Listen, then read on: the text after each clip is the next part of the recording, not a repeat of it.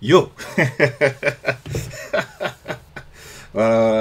comment on a commencé à changer les, choses là sur ce stream. Euh, euh, on a changé l'intro. Euh, là, sur cette scène, non, il n'y a pas grand chose qui a changé. Voilà, là, c'était déjà un peu comme je voulais le faire, des trucs un peu Windows et tout. Mais voilà, il y a des choses qui arrivent sur ce stream, notamment avec les points de chaîne. Voilà, il y a des. maintenant, possibilité de, dire bonjour, par exemple. Voilà. Salut mon vieux, tu me reconnais? Voilà, il y a différentes versions de, bonjour. Donc si vous avez des points de chaîne, vous pouvez maintenant les dépenser ici. Il y a des choses euh, qui existent. Euh, l'un des trucs que je vais essayer d'implémenter, n'est-ce pas? C'est le c'est le Wiz, hein. c'est le Wiz qui, qui, nous manque ici. Hein. Mais il y a des trucs, hein. il y a des trucs. Ah, attends, mettre mon message. Je, teste en même temps mon chat.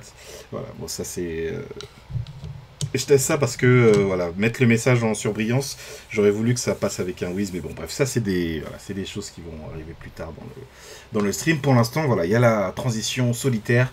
Euh, je vous, normalement, je voulais pas la montrer aujourd'hui, euh, parce que c'est pas comme je voulais.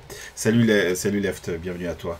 Voilà, c'était pas comme je voulais, mais je me suis dit, allez, je la montre en exclu, parce que je pense que je vais la travailler autrement, etc. Peut-être à partir d'une autre image et tout, on va voir.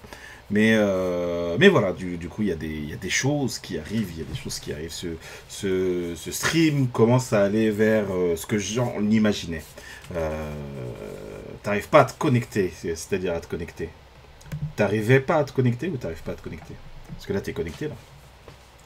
Tu es dans le chat sous ton pseudo, donc... ou alors tu es sur un autre appareil.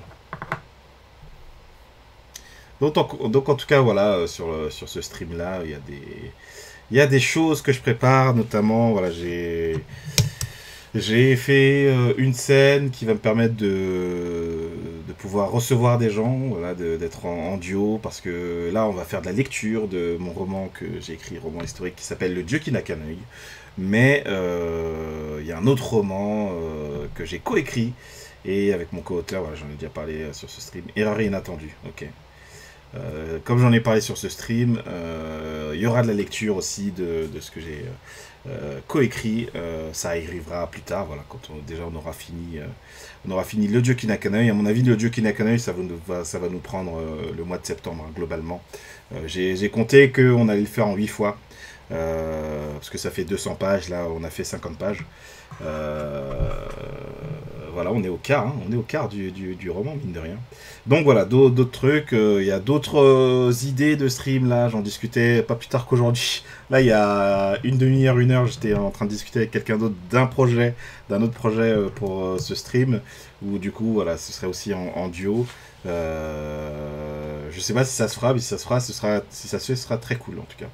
Voilà, pas, point de, pas, pas, plus d'annonces pour ça, mais du coup, voilà, euh, visuellement, le, le, stream avance, donc il y a, des, euh, il y a des, une nouvelle transition. là, pour l'instant, c'est une seule transition, mais après, je vais affiner en, en, une transition pour chaque scène et tout. Voilà, plus, plus, ça, plus ça va avancer, plus ce stream va vous rappeler l'époque YouTube, YouTube l'époque Windows XP. Hein. C'est ça, le, ça le but. Voilà, ça c'est le but sur la forme. Sur le fond, euh, d'ailleurs, bah, parlons-en. Euh, à la base, quand j'ai lancé cette chaîne, je voulais continuer ce que je faisais déjà sur la chaîne YouTube. Euh, tiens, je, remets toujours mes réseaux sociaux au passage, dont la chaîne YouTube. Sur la chaîne YouTube, où c'est de la vulgarisation psycho, je vais continuer la vulgarisation psycho, mais il y a plein d'autres trucs que j'ai envie de faire que je ferai aussi sur cette chaîne. Voilà, je vais euh, faire de cet espace quelque chose qui est vraiment plus globalement moi, je veux dire, voilà, qui est pas juste l'aspect euh, psycho, tiens j'ai perdu mon bouchon, bon c'est pas grave, qui est pas juste l'aspect euh, psycho de, ma personnalité, mais plein de plein d'autres trucs, mais ça arrivera, ça arrivera quand ça arrivera, parce que pour l'instant c'est plus des idées et pas encore des choses très concrètes, mais il y a, voilà, là, là ça s'est lancé quand cette chaîne, je pense en février, quelque chose comme ça. Euh, on va voir voilà, quand, quand la chaîne aura un an, je pense qu'il y aura plein d'autres choses qui vont changer par rapport aux six mois qui viennent de s'écouler. Euh, voilà, voilà. Ceci étant dit, nous allons euh, repasser avec la transition solitaire pour aller sur la scène de lecture. Voilà, parce qu'on va lire Le Dieu qui n'a qu'un.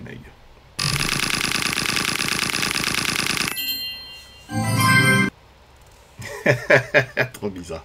Bon, euh, le dieu qui n'a qu'un œil, on en était donc au chapitre 7. Alors, on va se mettre une petite musique d'ambiance là. Alors, attendez, je baisse d'emblée le son. Euh, let's go. On va s'écouter du John Surman. Du John Surman. Alors, j'ai écouté ce que tu ce que avais proposé, euh, Left d'ailleurs. J'ai envie de t'appeler Lefty parce que supplémentaire, il t'appelle Lefty. je... Mais ça va, j'ai pas trop accroché, donc je me suis dit, bon, on va partir sur, sur du John Surman. Alors, je regarder un peu les niveaux là. Ah, c'est très très, très très très faible. Hein. C'est très très faible. La musique est faible de base, donc euh, voilà, on va être plutôt à ce niveau-là. Voilà, donc chapitre 7, le jeu euh, de la vie et de la mort. Donc pour l'instant, ce qu'on a vu, c'est que, petit résumé avant de démarrer, euh, bon, toi tu, viens de relire tout, de réécouter tout ça, euh, Left, mais en, gros, on suit trois points de vue. Le point de vue des futurs chevaliers templiers qui quittent la France pour aller à Jérusalem. Euh, et donc pour l'instant, ils sont arrivés euh, envers l'Allemagne, ils ont dépassé l'Allemagne, etc. Ils ont protégé un peu des gens sur leur chemin, euh, des riches qui veulent faire, qui veulent faire des trajets. Ils leur offrent la protection pour pouvoir gagner un peu d'argent, notamment un certain seigneur qui lui va aussi à Jérusalem, mais qui, avec qui ils ont fini par s'embrouiller, etc. Donc qui, qui, lui est parti plus tôt euh, et lui s'est retrouvé déjà dans l'Empire Ottoman où euh, c'est un peu compliqué pour lui. Euh, voilà, ça c'est la partie un peu templier. Et puis on suit une secte, la secte des Nizarites, qui vit dans une forteresse en haut de la montagne en Iran, donc dans le fort d'Alamout. voilà, secte menée par Hassan Isaba, voilà, et qui va avoir son évolution. Voilà, pour l'instant, vous n'avez pas encore vu son plan potentiel. Tout ce que vous savez, c'est qu'ils envoient des euh, prédicateurs euh, partout euh, dans le monde arabe, je vais, dire, je ça comme ça, pour voilà, prêcher la bonne parole un peu, voilà, qui est non pas l'islam, parce qu'ils parlent à des gens, alors qui peuvent ne pas être musulmans, mais voilà, des gens qui pour la plupart sont musulmans, mais leur version de l'islam, leur version de l'islam, qui est le nizarisme. Donc c'est une minorité religieuse. Euh, dont un euh, prédicateur, euh, Kia non, Bourzougumid, pardon, qui va avec son fils au Caire pour prêcher, voilà, qui va demander à pouvoir prêcher dans la mosquée du Caire. il se trouve que le Caire, à cette époque-là, on est en 1118, le Caire à cette époque-là, c'est une situation politique compliquée parce que il y a un vizir qui s'appelle Al-Afdal, qui est présent depuis longtemps et le nouveau euh, calife était jeune en fait quand il est devenu calife. Euh, donc il le connaît depuis très jeune et il prend un peu trop de place ce vizir. Donc le calife euh, se dit ah j'aimerais bien reprendre un peu le pouvoir, pas avoir juste un pouvoir symbolique quoi. C'est moi qui ai le pouvoir, c'est pas l'autre, c'est pas mon vizir. Euh, voilà. Donc c'est une période euh, politique, politico-spirituelle assez tendue euh, au Caire. D'autant plus que voilà, il y a le Caire où se trouve le, voilà, le, calife, mais il y a plein d'ennemis. Il y a les, ce qu'ils appellent les franges, qui sont les francs, qui sont les, voilà, les, les comment dire, les, les occidentaux, qui ont fait la première croisade, donc ils sont allés à Jérusalem et tout. Euh, euh, voilà, donc il y a déjà eu, des francs depuis une vingtaine d'années. Euh, je vous pose vraiment tout le contexte historique, hein, politique, historique et spirituel. Il y a les, les, Abbassides, voilà, qui sont des ennemis, qui sont plutôt basés sur Bagdad, et donc qui sont d'un autre courant de l'islam. Et il y a aussi, bah voilà, il y a le Caire et puis il y a Alexandrie. Euh, Alexandrie, euh, voilà, c'est aussi un autre courant de l'islam par rapport au Caire. Donc c'est compliqué, c'est pour, euh, pour le Caire. et donc on en était au chapitre 7, le jeu de la vie et de la mort.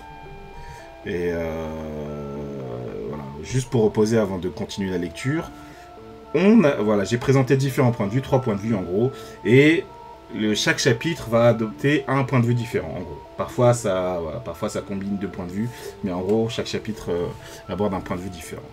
Et donc, le, jeu du, de la vie et de la mort, j'étais très curieux quand on s'est arrêté là euh, la semaine dernière. Euh, parce que je me demande, mais je sais plus de quoi ça va parler, c'est intrigant. Donc on va voir ça tout de suite. Alors attendez, je crois que ma caméra est pas bien placée. Il y a un peu de poussière, je vois. Let's go, voilà. Voilà, là on est mieux. Là on est mieux. Et comme ça, on va pouvoir lire ça ensemble. La musique c'est un peu je vais la baisser légèrement. Voilà, et là c'est parfait, on peut se lancer. Dans toute la forteresse, l'on s'activa soit par les gestes, soit par les mots. Le départ à venir constituait la première marche d'un escalier qui jusqu'à ce jour paraissait aussi lointain qu'infini à tous les membres. La première phase d'un plan d'apparence irraisonnée, mais en fait incommensurablement pensé. L'effervescence qui régnait était tout sauf évidente, étant donné que les seules deux équipes réaliseraient ce premier pas. Les équipes numéro 1 et 5. Les meilleures, remarquaient les équipes qui se sentaient délaissées, reléguées au statut de simple gestionnaire de forteresse. Mais se trouvait-il en droit de se plaindre que d'autres fussent meilleurs qu'eux? Il ne devait pas perdre de vue, aussi difficile que cela put être, euh, être en, tant qu'équipe distincte, que tous poursuivaient un objectif commun. Et il primait surtout, euh, y compris leur, pardon, et primait surtout l'objectif donc, y compris leur vie et celle des malheureux qui leur avaient été proches à une époque. Plusieurs fois, certains évoquèrent l'idée de s'introduire incognito dans une des équipes sur le départ. La chose s'avérait en effet possible vu que les sept équipes des Fidaï euh, se voilaient la face. Fidaï, euh, je sais plus ce que ça veut dire, ça veut pas dire fidèle machin, mais je me rappelle que c'est euh, ce qui va donner plus tard les Fedaïn, c'est la, même origine. Il n'y avait que le visage du maître Al-Hassan, euh, qui demeurait sans cesse découvert. donc voilà, ils se voilaient la face, ils ont tous la, tête masquée. Les, soldats, eux, gardaient leur masque en toutes circonstances. donc c'est des espèces de... Euh, comment on appelle ça dans Star Wars?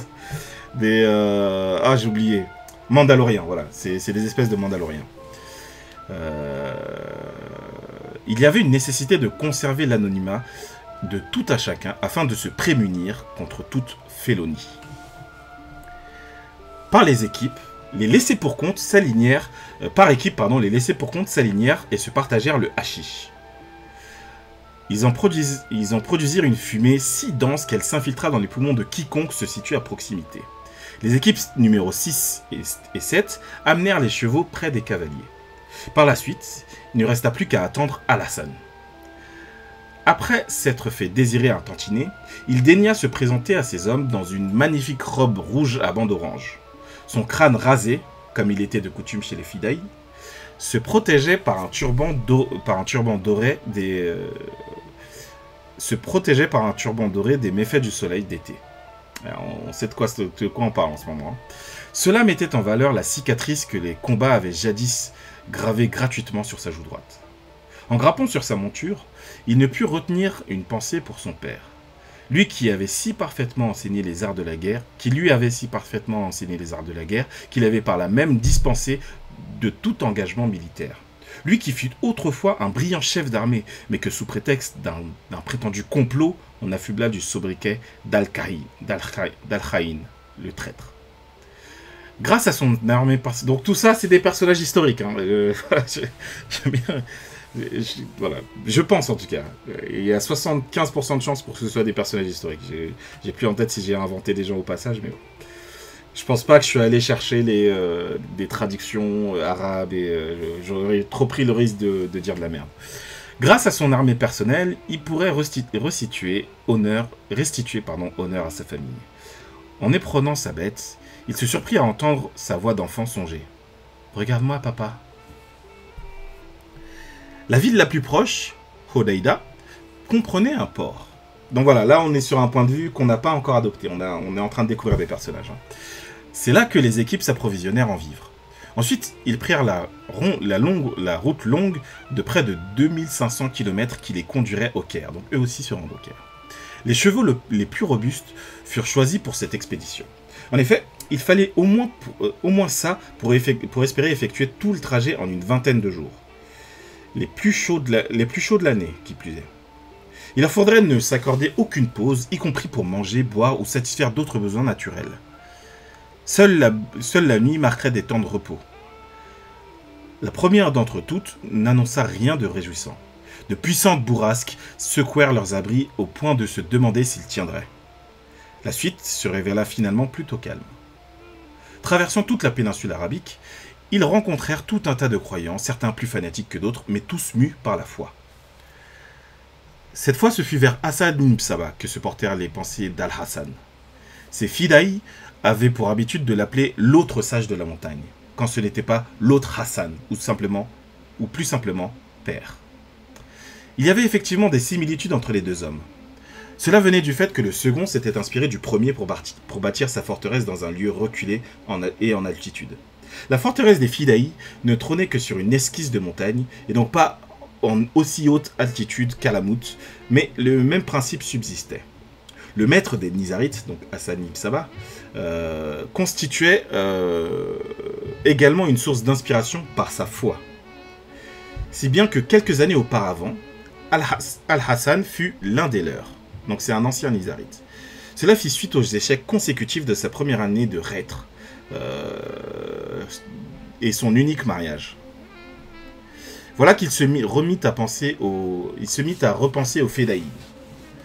40 ans que cela avait commencé. Cinq ans plus tard, survint la fin des, trois issues différentes. Survint la fin, pardon, avec trois issues différentes. La désertion, la prison et la mort. En observant les querelles de pouvoir qui étranglaient les califats et autres royaumes ou empires, Al-Hassan se dit souvent que tout, compte fait, la mort n'aurait pas été un si mauvais sort. Dans un, monde où la corruption fait loi, le bien devait être synonyme de moindre mal. Malheureusement pour lui, son choix fut celui de la vie. Il s'efforçait donc de tout mettre en œuvre pour en éradiquer le vice.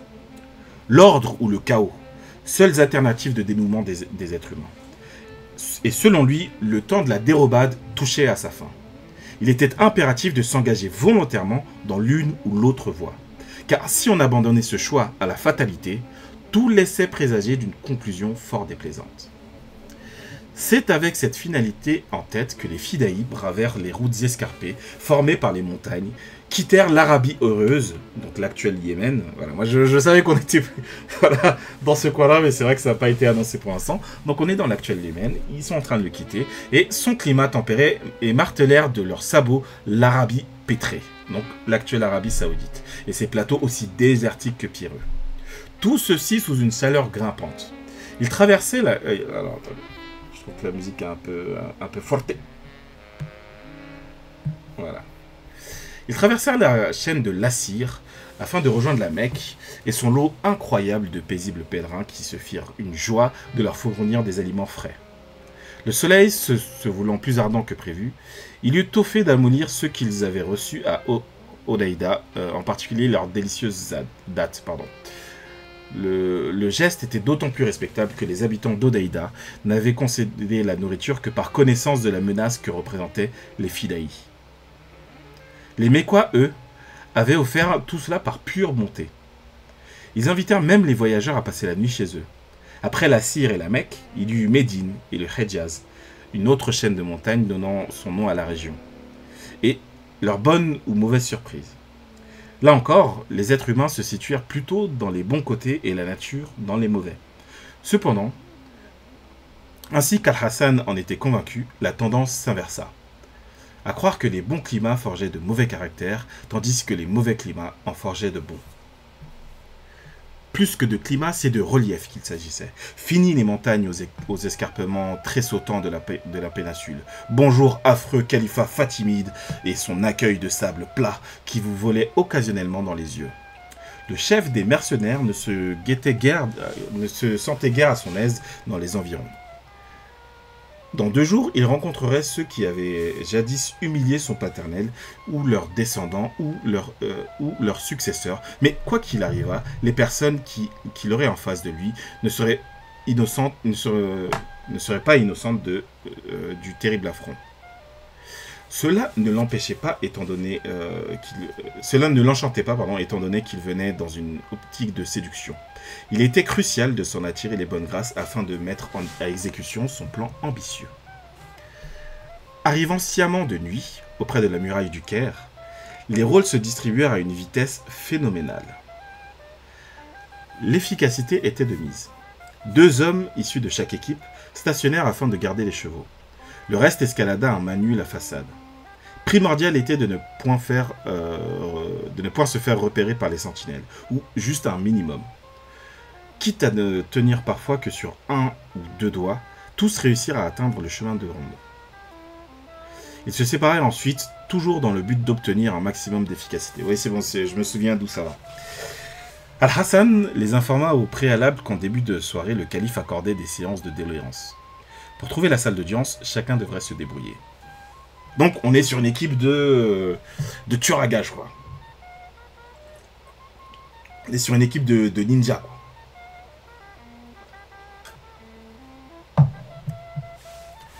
En tous les cas, votre hôtesse, sachez que j'appuie sérieusement la proposition du petit, s'exprima le chef Bourgoumi.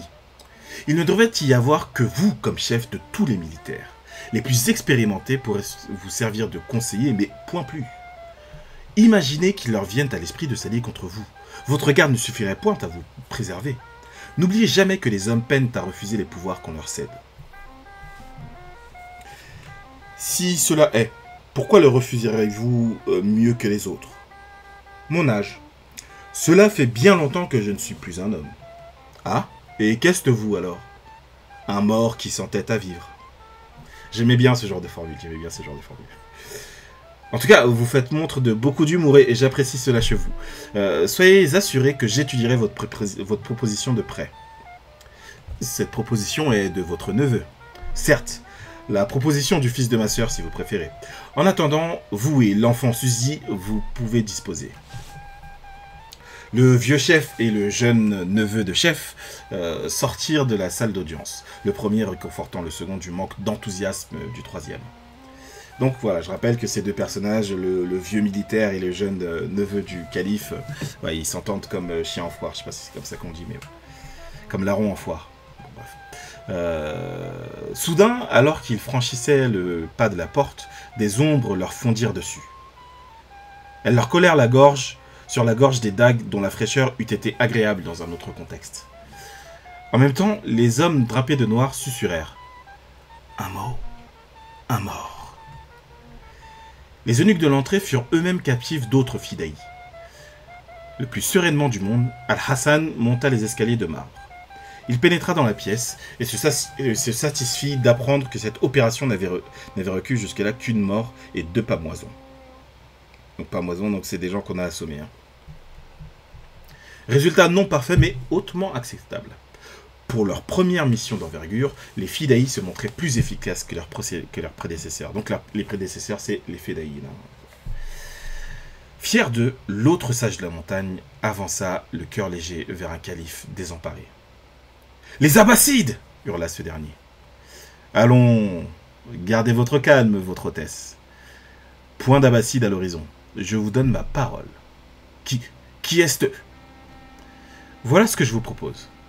Puisque de toute évidence les mots se bousculent euh, sous votre palais, euh, laissez-moi mener cette danse. Vous, ne vous contenterez que de répondre à mes questions. Qu'en dites-vous? J'aime bien ce personnage, hein. il a quelque chose. Il est un peu, il un peu badass, je crois. Pétri de perplexité, le calife ne fournit aucune réplique euh, cette fois. Non-acte que l'autre Hassan interpréta comme un accord. Il poursuivit donc comme si cela était. Mon nom est Al-Hassan, et la seule autre chose que vous saurez sur moi est que ces hommes qui ont investi votre précieux palais sont les miens. En aucun cas cette petite visite que nous vous rendons ne doit être perçue comme une attaque. Nous n'avons pas pour habitude de parler à nos victimes, rien ne saurait nous faire perdre plus de temps.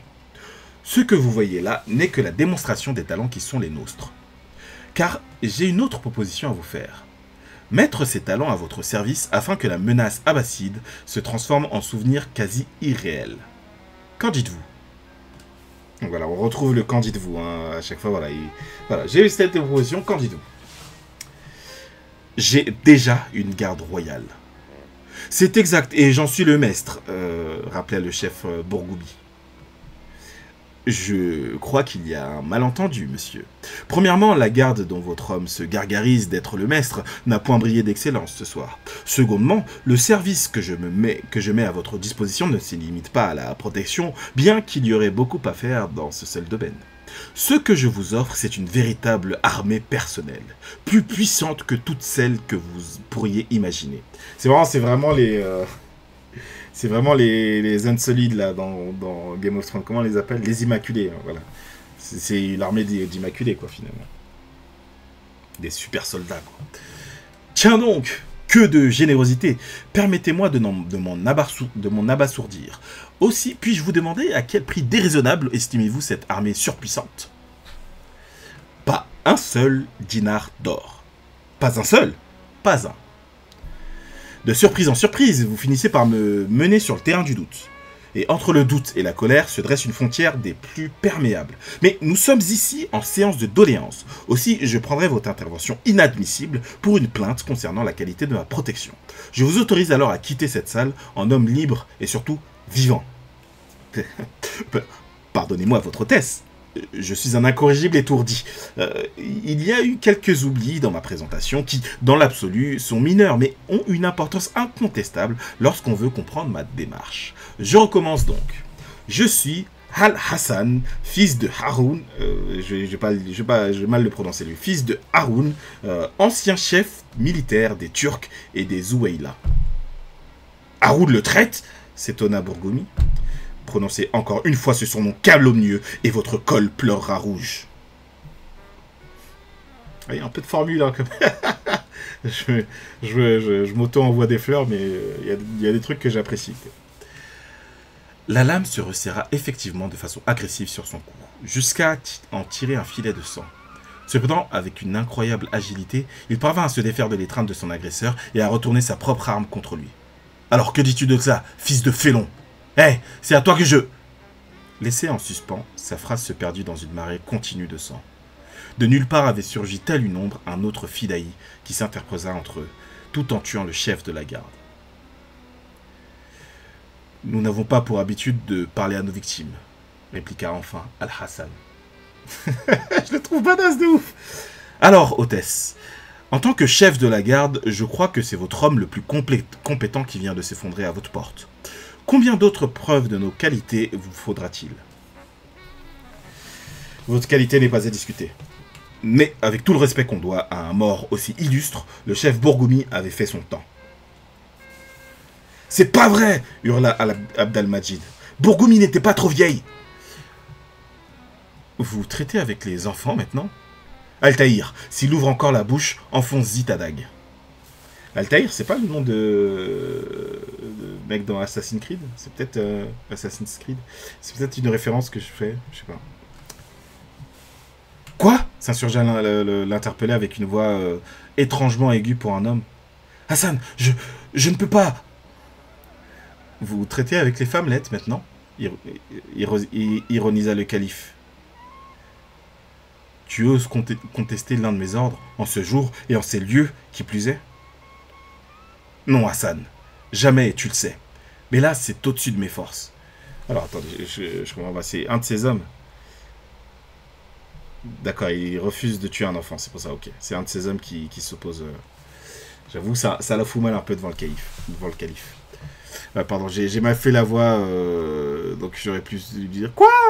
Hassan, je, je ne peux pas J'aurais dû faire une voix un peu plus aiguë. Quoi? En plus d'avoir une voix de femme, tu veux en avoir la veulerie? Intervint le meurtrier de Bourgoumi. D'accord.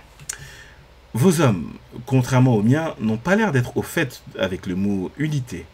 Or, c'est une chose qui m'apparaît essentielle. Voilà qui nous est commun.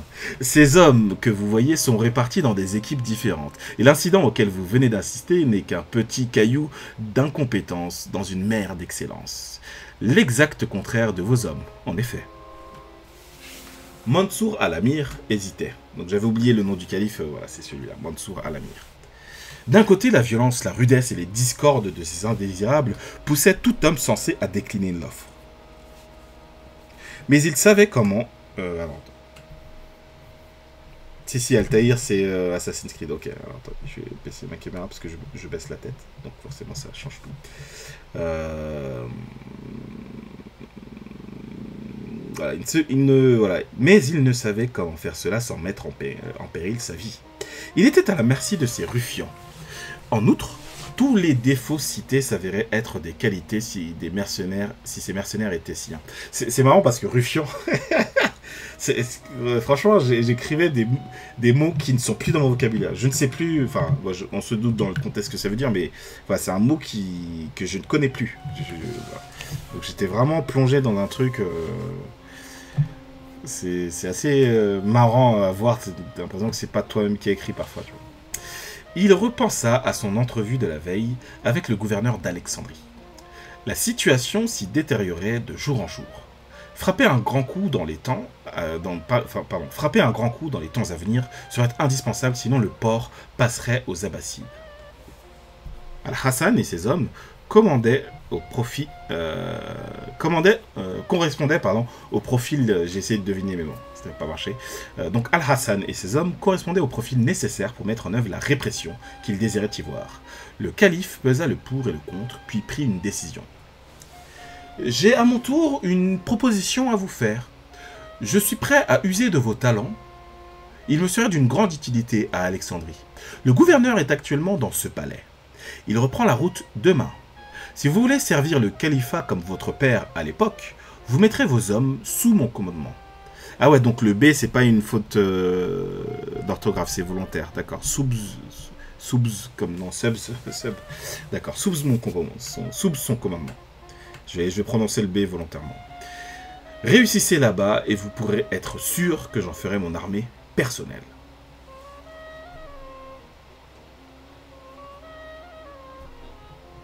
Attends, j'ai pas compris. Le, gouver- le gouverneur, euh, il reprend la route, il doit mettre euh, ses hommes sous son commandement. Attends.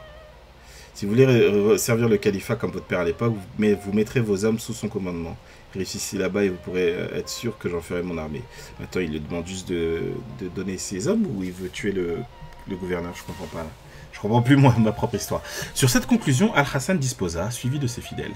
Ils revinrent à leur monture de la même manière qu'à l'aller. Ils s'éloignèrent ensuite vers une colline sur laquelle ils établirent leur campement. La suite fut le sommeil pour tous. euh, f- La suite fut le sommeil pour tous, excepté pour ceux qui étaient de garde, et pour le dénommé Al-Tahir qu'Al-Hassan convoqua. Al-Kahir et son cousin Badr occupaient une place particulière dans la communauté. En particulier parce qu'ils euh, appartenaient à l'équipe numéro 1 qui bénéficiait de trop d'attention de père, selon les autres équipes. Ensuite, il y avait cet étrange mâle qui sévissait dans leur famille et conférait aux hommes des voix de femmes. Leurs coéquipiers les taquinaient souvent en leur demandant si les femmes et les enfants avaient des voix d'hommes. Les autres fidaïs allaient plus loin. Dans leur dos, ils, affirmaient que Badr et Altaïr profitaient de leur malfaçon pour séduire Al-Hassan et s'attirer plus de privilèges encore. Ah, c'est accusation de sorcellerie, c'est quoi le... Euh, Certains les accusaient même de dégorger père. Dégorger, ça veut dire... euh, hein, ça veut dire ils lui font des faveurs sexuelles, quoi. Cela ne s'exprimait, euh, cela ne s'exprimait que par murmure, car si cela parvenait aux, oreilles de, leur chef, il les ferait exécuter sur le champ. Quoi qu'il fût de toutes ces rumeurs, c'est la convocation qui inquiétait Al- Altaïr. Pour la première fois en huit ans, il voyait l'autre Hassan sans. On va voir le dialogue dans un instant.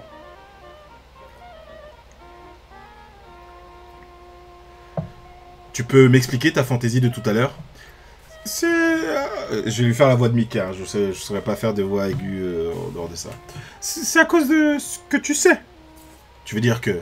Précisément. Tout homme a ses limites et tu pourras nous entraîner aussi longtemps que tu voudras. Dieu nous a fait hommes. Et en aucune façon, tu ne pourras remédier à cela. Assure-toi simplement que tes limites n'entravent plus jamais notre marche, ou je me verrai dans l'obligation de ne plus te parler. Maintenant, retourne auprès des tiens. Obéissant, Altaïr se coucha dans la tente de l'équipe numéro 1, où pas un mot ne gênait les dormeurs. On ne pouvait en dire de même de la tente de l'équipe numéro 5. Sinan, Rabia et Méziane ne se sentaient guère d'humeur à se reposer. La fureur les tenait éveillés. Ils l'apaisèrent donc en fustigeant l'équipe numéro 1.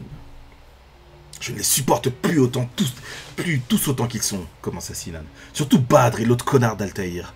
S'il n'y avait pas d'autre mission, je peux vous dire qu'on les aurait fait chanter, qu'on aurait fait chanter le fer depuis des, lustres.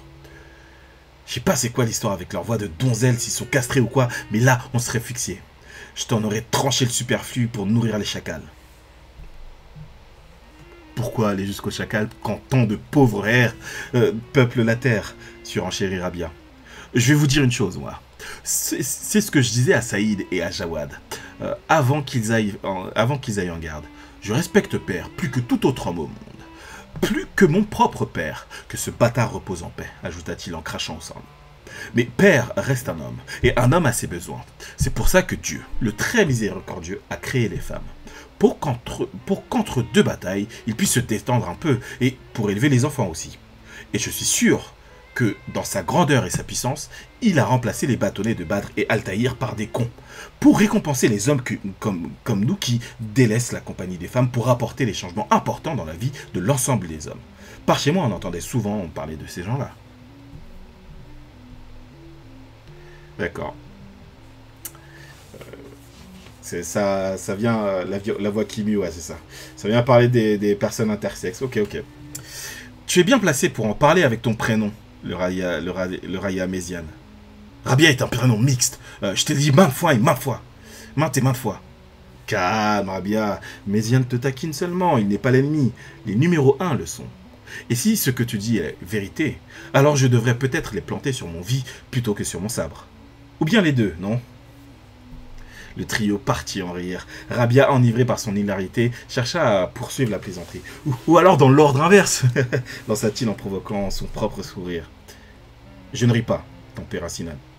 Ton manque de respect envers les morts m'exaspère, et tu sais ce qui m'arrive quand je suis exaspéré. Oui, oui, mais euh, Sinan, euh, veux-tu que nous allions faire chanter le fer à la vue des astres? Non, euh, je ne préfère pas. Il vaut mieux, car je crains que ma lame n'ait plus de voix, que la tienne. De toute façon, il serait inique de ma part de souiller le sable par ton sang. Il ne reste pas moins que je prendrai un plaisir immense à à détacher ta tête de ton corps, comme je l'ai fait avec l'autre Géronte. Merci Sinan, je te suis profondément reconnaissant de... Ta gueule Je n'ai que faire de ta reconnaissance. La vie et la mort, voilà tout ce qui m'importe. Veux-tu rester en vie, Rabia? Oui, euh, bien sûr. Alors garde-toi de, me donner une raison de, te loter. Je le ferai sans regret. Je, le ferai, Sinan, je, te promets. Ne promets pas. Agis. D'accord. Il a pas l'air commode, hein, Sinan. oh, dis donc. La tension qui tiraillait Rabia était visible. On croirait même entendre son, battre, son cœur battre. Pardon. Euh, il ne put en éprouver le poids très longtemps. Je, crois que je vais aller voir comment vont les deux autres. Euh, ils ont peut-être besoin d'un truc. Comme tu voudras. Il sortit de la tente et cette fois, c'est son soulagement que l'on crut entendre. L'attitude de Méziane avait quelque chose de déconcertant aux yeux de Sinan. Il restait allongé sur le dos et observait la toile de la tente comme si, comme si rien ne s'était passé, comme s'il pouvait y déceler un secret de l'univers, les bras croisés derrière son crâne.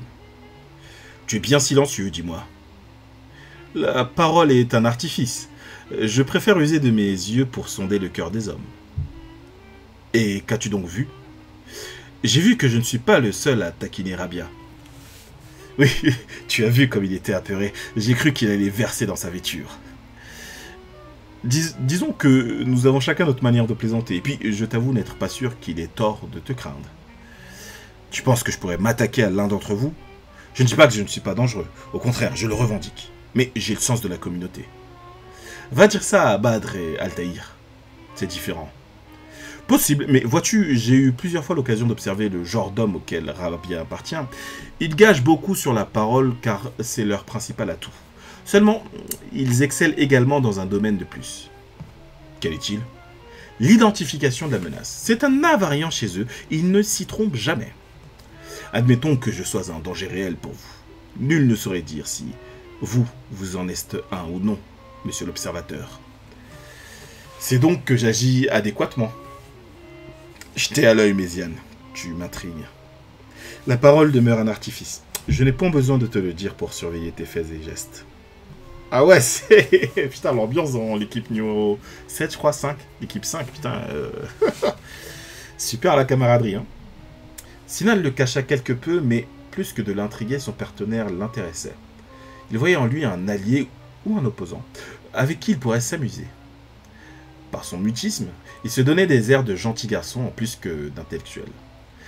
Il n'y avait donc, selon lui, que deux explications à cela. Soit il était réellement ce qu'il paraissait, soit il était le plus fin manipulateur qu'il eût jamais rencontré. Si la première explication s'avérait exacte, il mettrait un terme au jour de ce gredin. S'il s'agissait en revanche de la seconde, ce serait assurément lui qui perdrait la vie. Tel était le jeu de la vie et de la mort. Le lendemain, Al-Hassan se retourna, au Grand Palais pour euh, en revenir accompagné du gouverneur d'Alexandrie et de sa modeste suite. Il assigna l'équipe numéro 1 à sa protection active. Autrement dit, Al-Tahir, Badr, Shams, Osman et Abd euh, devenaient ses mercenaires jusqu'à nouvel ordre. Probablement le gouverneur ne mesurait pas l'intensité du pouvoir que cela lui conférait, mais il s'en rendrait compte bien assez tôt. En attendant, Sinan constatait qu'encore une fois, les mêmes personnes étaient mises en avant. Les regardant partir dans une direction différente, il sut que le moment venu, il opterait plutôt pour leur mort que pour leur sexe. Euh, donc voilà, je crois comprendre le plan euh, du calife. Il veut voir s'ils arrivent à bien protéger euh, le gouverneur d'Alexandrie. Enfin, c'est ce que j'en comprends. Ah, c'était la fin du chapitre. J'avais un petit doute. Tel est donc le jeu, de... Le jeu de la vie et de la mort, quoi. Tuer ou être tué. Intéressant ce groupe, hein. Sais plus en plus ce qu'il va donner, mais je crois que... Je crois qu'il allait se passer autre chose, peut-être ça va se passer plus tard, mais euh, oui, je crois que ça va se passer plus tard. Bon. Voyons donc la suite avec le chapitre 8, pique et réplique à Jérusalem. Alors, je vais juste regarder où est-ce qu'on en est dans la playlist que j'ai mise. Euh, ouais, on a encore un peu de temps, hein, parce qu'on termine une musique d'une minute, et après, il y en a une de 8 minutes. Donc, elle va nous faire tranquillement le chapitre 8. Le, le seigneur Jean de Vernante était à bout.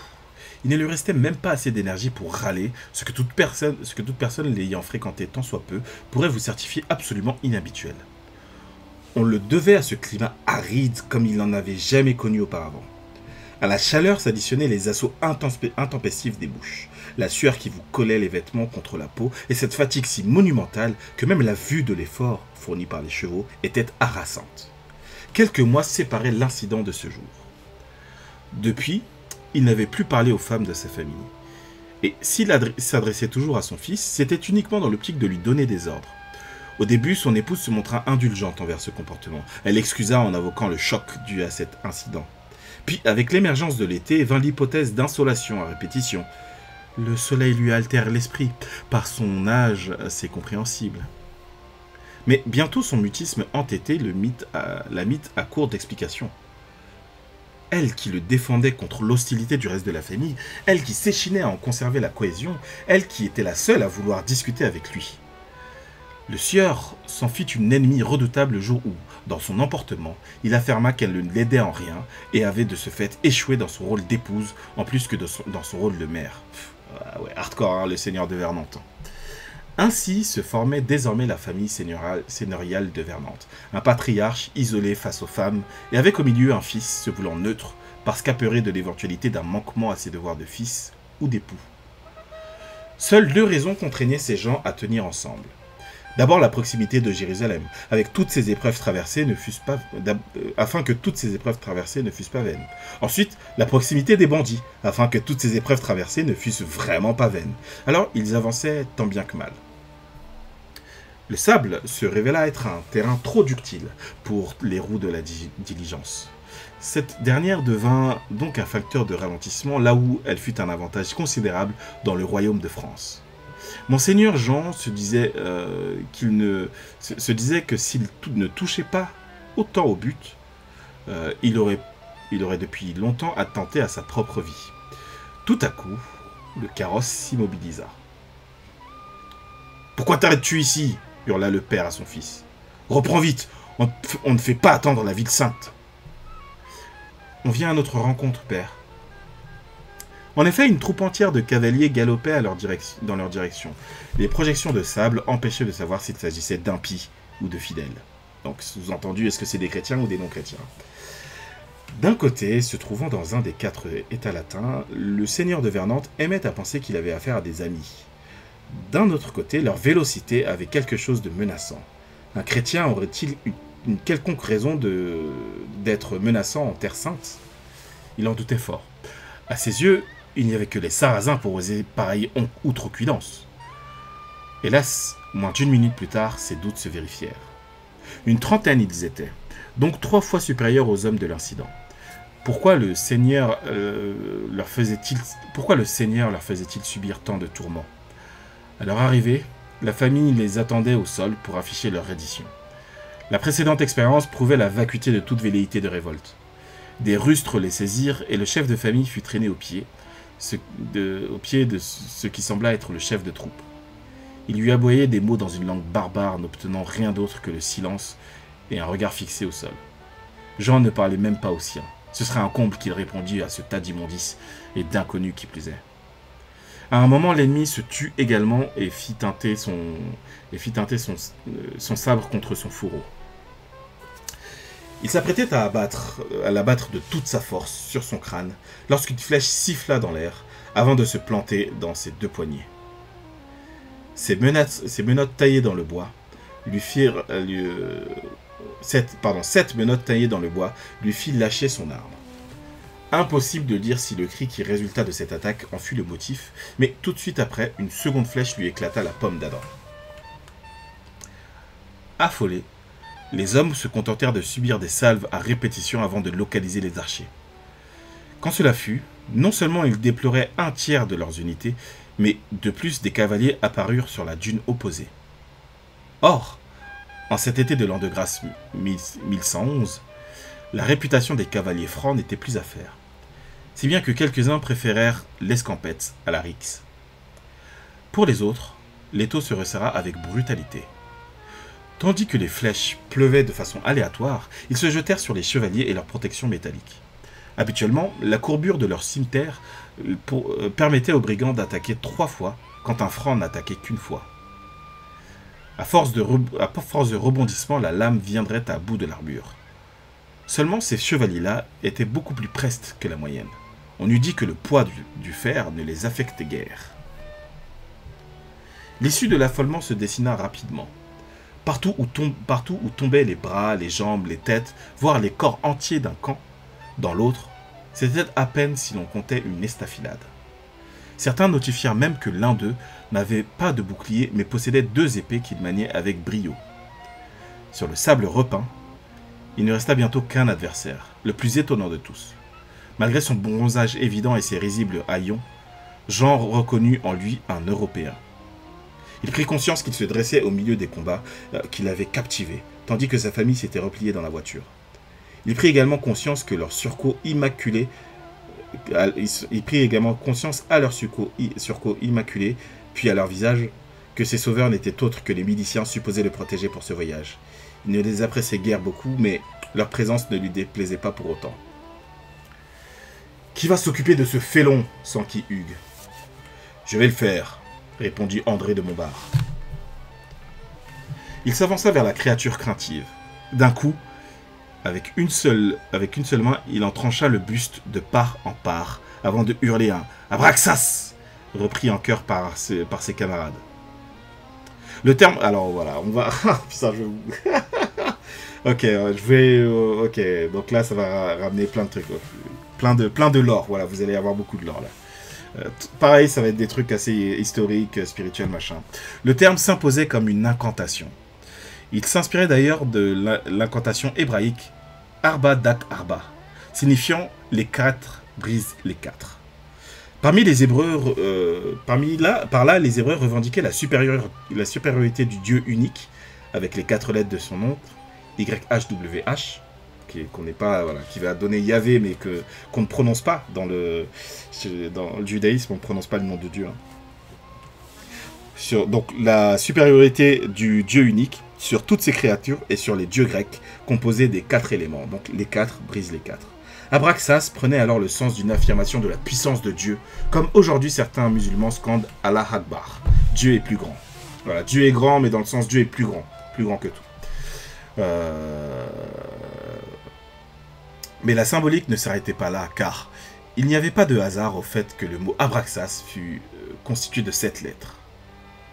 La grandeur de Dieu, qui donnait au cosmos son unité, était ainsi représentée par les sept sacrements, par les sept péchés capitaux, les sept jours de la semaine, dont le septième, celui du repos, le Shabbat en hébreu, ou Al-Sept en arabe, les, sept, planètes, les sept couleurs de l'arc-en-ciel, symbole de l'alliance avec euh, Dieu, les sept archanges, l'âge de la raison, les sept cieux, les sept mers, les sept dons de l'esprit, sagesse, discernement, conseil, vaillance, connaissance, piété, crainte, là, j'essaie de vous mettre dans l'état d'esprit des gens du Moyen-Âge.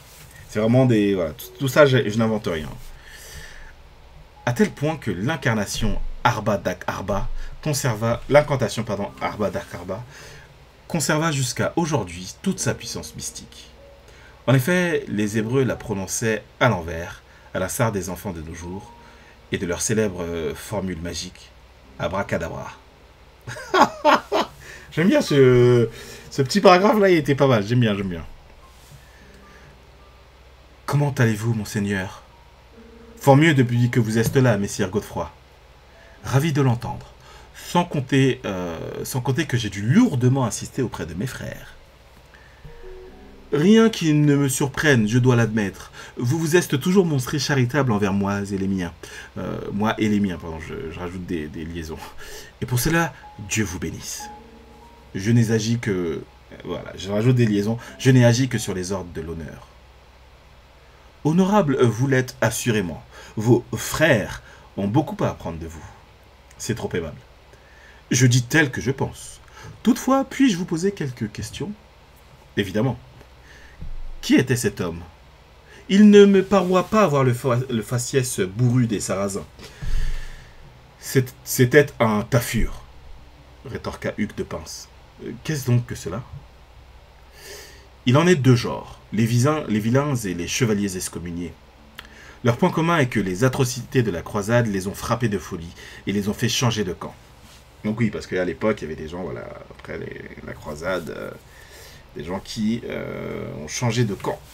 Pas des Européens qui n'étaient plus du côté des Européens.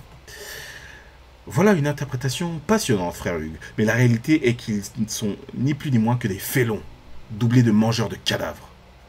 Mangeurs de cadavres se frère le Seigneur. Frère Godefroy, ces histoires remontent à plus de 20 ans.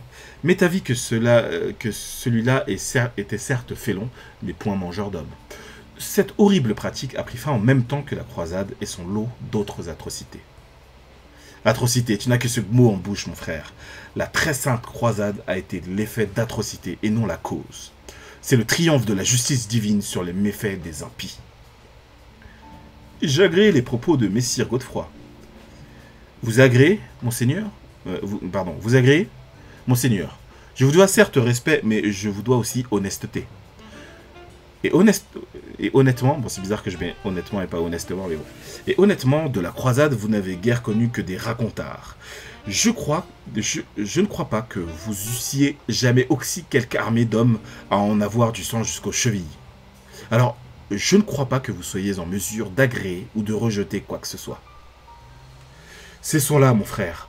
Nous ne sommes pas venus réitérer vos chamailleries aux portes de la Sainte Jérusalem. Tu as raison. Pardonnez-moi, monseigneur, et permettez-moi de retrouver mes frères. J'agrée. Cette... Alors, pardon. On va se, mettre un, peu... On se remet un peu une petite euh, playlist là. Quelques, quelques instants. Voilà. Let's go. C'est amplement satisfait que monseigneur Jean regarda s'en aller cet homme dont il n'arrivait jamais à déterminer s'il était clair ou preux. Donc s'il est religieux ou chevalier, quoi. La milice des pauvres chevaliers du Christ mena la famille de Vernante à destination dans la journée. La famille en question peina à croire y être réellement parvenue. Après tous leurs efforts, le résultat s'avéra plus que décevant. Quid des espaces infinis de verdure? Quid des rivières de lait et de miel? Quid du sentiment d'intromission de Dieu, l'expérience d'une rencontre directe avec le Très-Haut et tous ses anges? Il ne sentait rien, ne rien de différent. Rien que l'abri chaud et assoiffant. Rien que le goût salé de la sueur. Rien que les pestilences du sang des brigands séchant sur eux. Jean trouva néanmoins une explication d'après lui plausible. Les Sarrasins ont profané cette Bible plus profondément que je l'imaginais. Sacrilège Puissent-ils jamais trouver le repos dans la vie comme dans la mort? Puissent-ils ne, jamais trouver le repos dans la vie comme dans la mort? Donc ça, c'est vraiment des croyances qu'il y avait hein, que, à, l'époque, hein, qu'à Jérusalem, vous savez, il y a des rivières de lait et de miel, machin. ils, avaient vraiment euh, cet imaginaire-là, donc je voulais un peu représenter les préjugés de l'époque. Dans la dite ville, la milice conduisit directement la famille au roi Baudouin II de Bourg, dans la citadelle octogonale que l'on nommait Tour de David, le toit de Jérusalem. Les rois de cet État latin euh, avaient pris euh, pour habitude de s'y loger par peur d'une attaque des Fatimides, ayant pour but de récupérer la cité. La rumeur avait amené, euh, que les disciples du prophète considéreraient Jérusalem comme leur troisième ville sainte, derrière la Mecque et Médine. Il fut une nuit où leur prétendu Dieu aurait fait rencontrer leur tout, leur tout autant prétendu prophète, et Moïse et le Christ. Chaque fois qu'il entrait dans la ville, Hugues se ressouvenait contre son gré des amoncellements de cadavres qui en avaient valu la possession des Sarrasins, des Juifs et même des, chrétiens euh, qui ne s'étaient pas montrés assez coopératifs. Leurs maisons détruites, leurs quartiers incendiés, leurs membres découpés et entassés. Il y en avait pour tous les goûts, surtout les plus immoraux. Euh, c'est ça la, croisade. Hein. La, prise de Jérusalem, c'est vraiment un épisode sanglant. C'est une dinguerie. La majorité se contenta d'un ersatz maladroit. Pour Hugues, c'était la foi qui le tenait à l'écart de la folie quelque part, et quelque part, en cherchant à faire triompher la véritable parole divine, c'était la paix éternelle qu'il quêtait. Alors qu'ils atteignirent la salle du trône, le chevalier et moine euh, se complaisaient à conserver cette lucidité sur tout sur son parcours et les motifs de sa présence. Il lui faudrait garder l'esprit éclairé pour vaincre les ténèbres de la religion. Hugues observa la pièce, subjugué par la beauté des tapisseries sur lesquelles l'or environnant reflétait l'astre de lumière. Elle représentait des scènes de guerre, les batailles de la croisade, la prise de Jérusalem et les conquêtes qui suivirent. Il était atterré de voir ce à quoi il avait participé. Tout ce faste et cet étalage élogieux de violence s'opposaient radicalement au message du pape Urbain II. Donc Urbain II, c'est celui qui, avait, euh, qui, a, lancé la, croisade. Hein. C'est lui qui avait appelé à la croisade. Le Seigneur eut au moins la bonté de lui en épargner la connaissance en le rappelant précipitamment à lui. Donc lui, voilà, Hugues de Pince ne connaissait pas Urbain, Urbain II. Mais où était Dieu face à toutes ces pierreries et ces massacres? Il est parmi toi et tes frères, songea-t-il. Vous êtes ses fidèles, ses messagers, et surtout ses exécutants.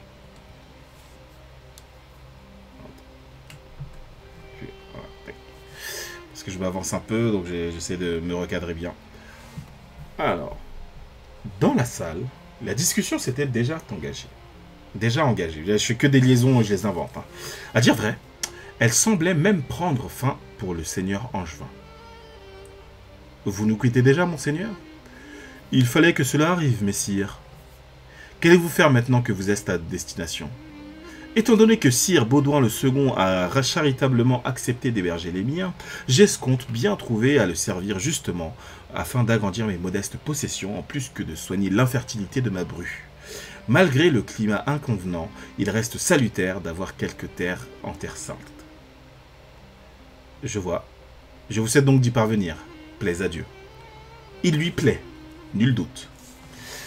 Donc voilà, donc euh, voilà, la famille de Vernante, elle est allée à Jérusalem parce que c'est la ville sainte et donc euh, voilà, comme euh, il n'arrive pas à avoir d'enfants, voilà, son, fils et sa compagne, voilà, Jean de Vernante avec toute la smala, ils sont dit, on va à Jérusalem, vous allez être bénis, voilà, on va.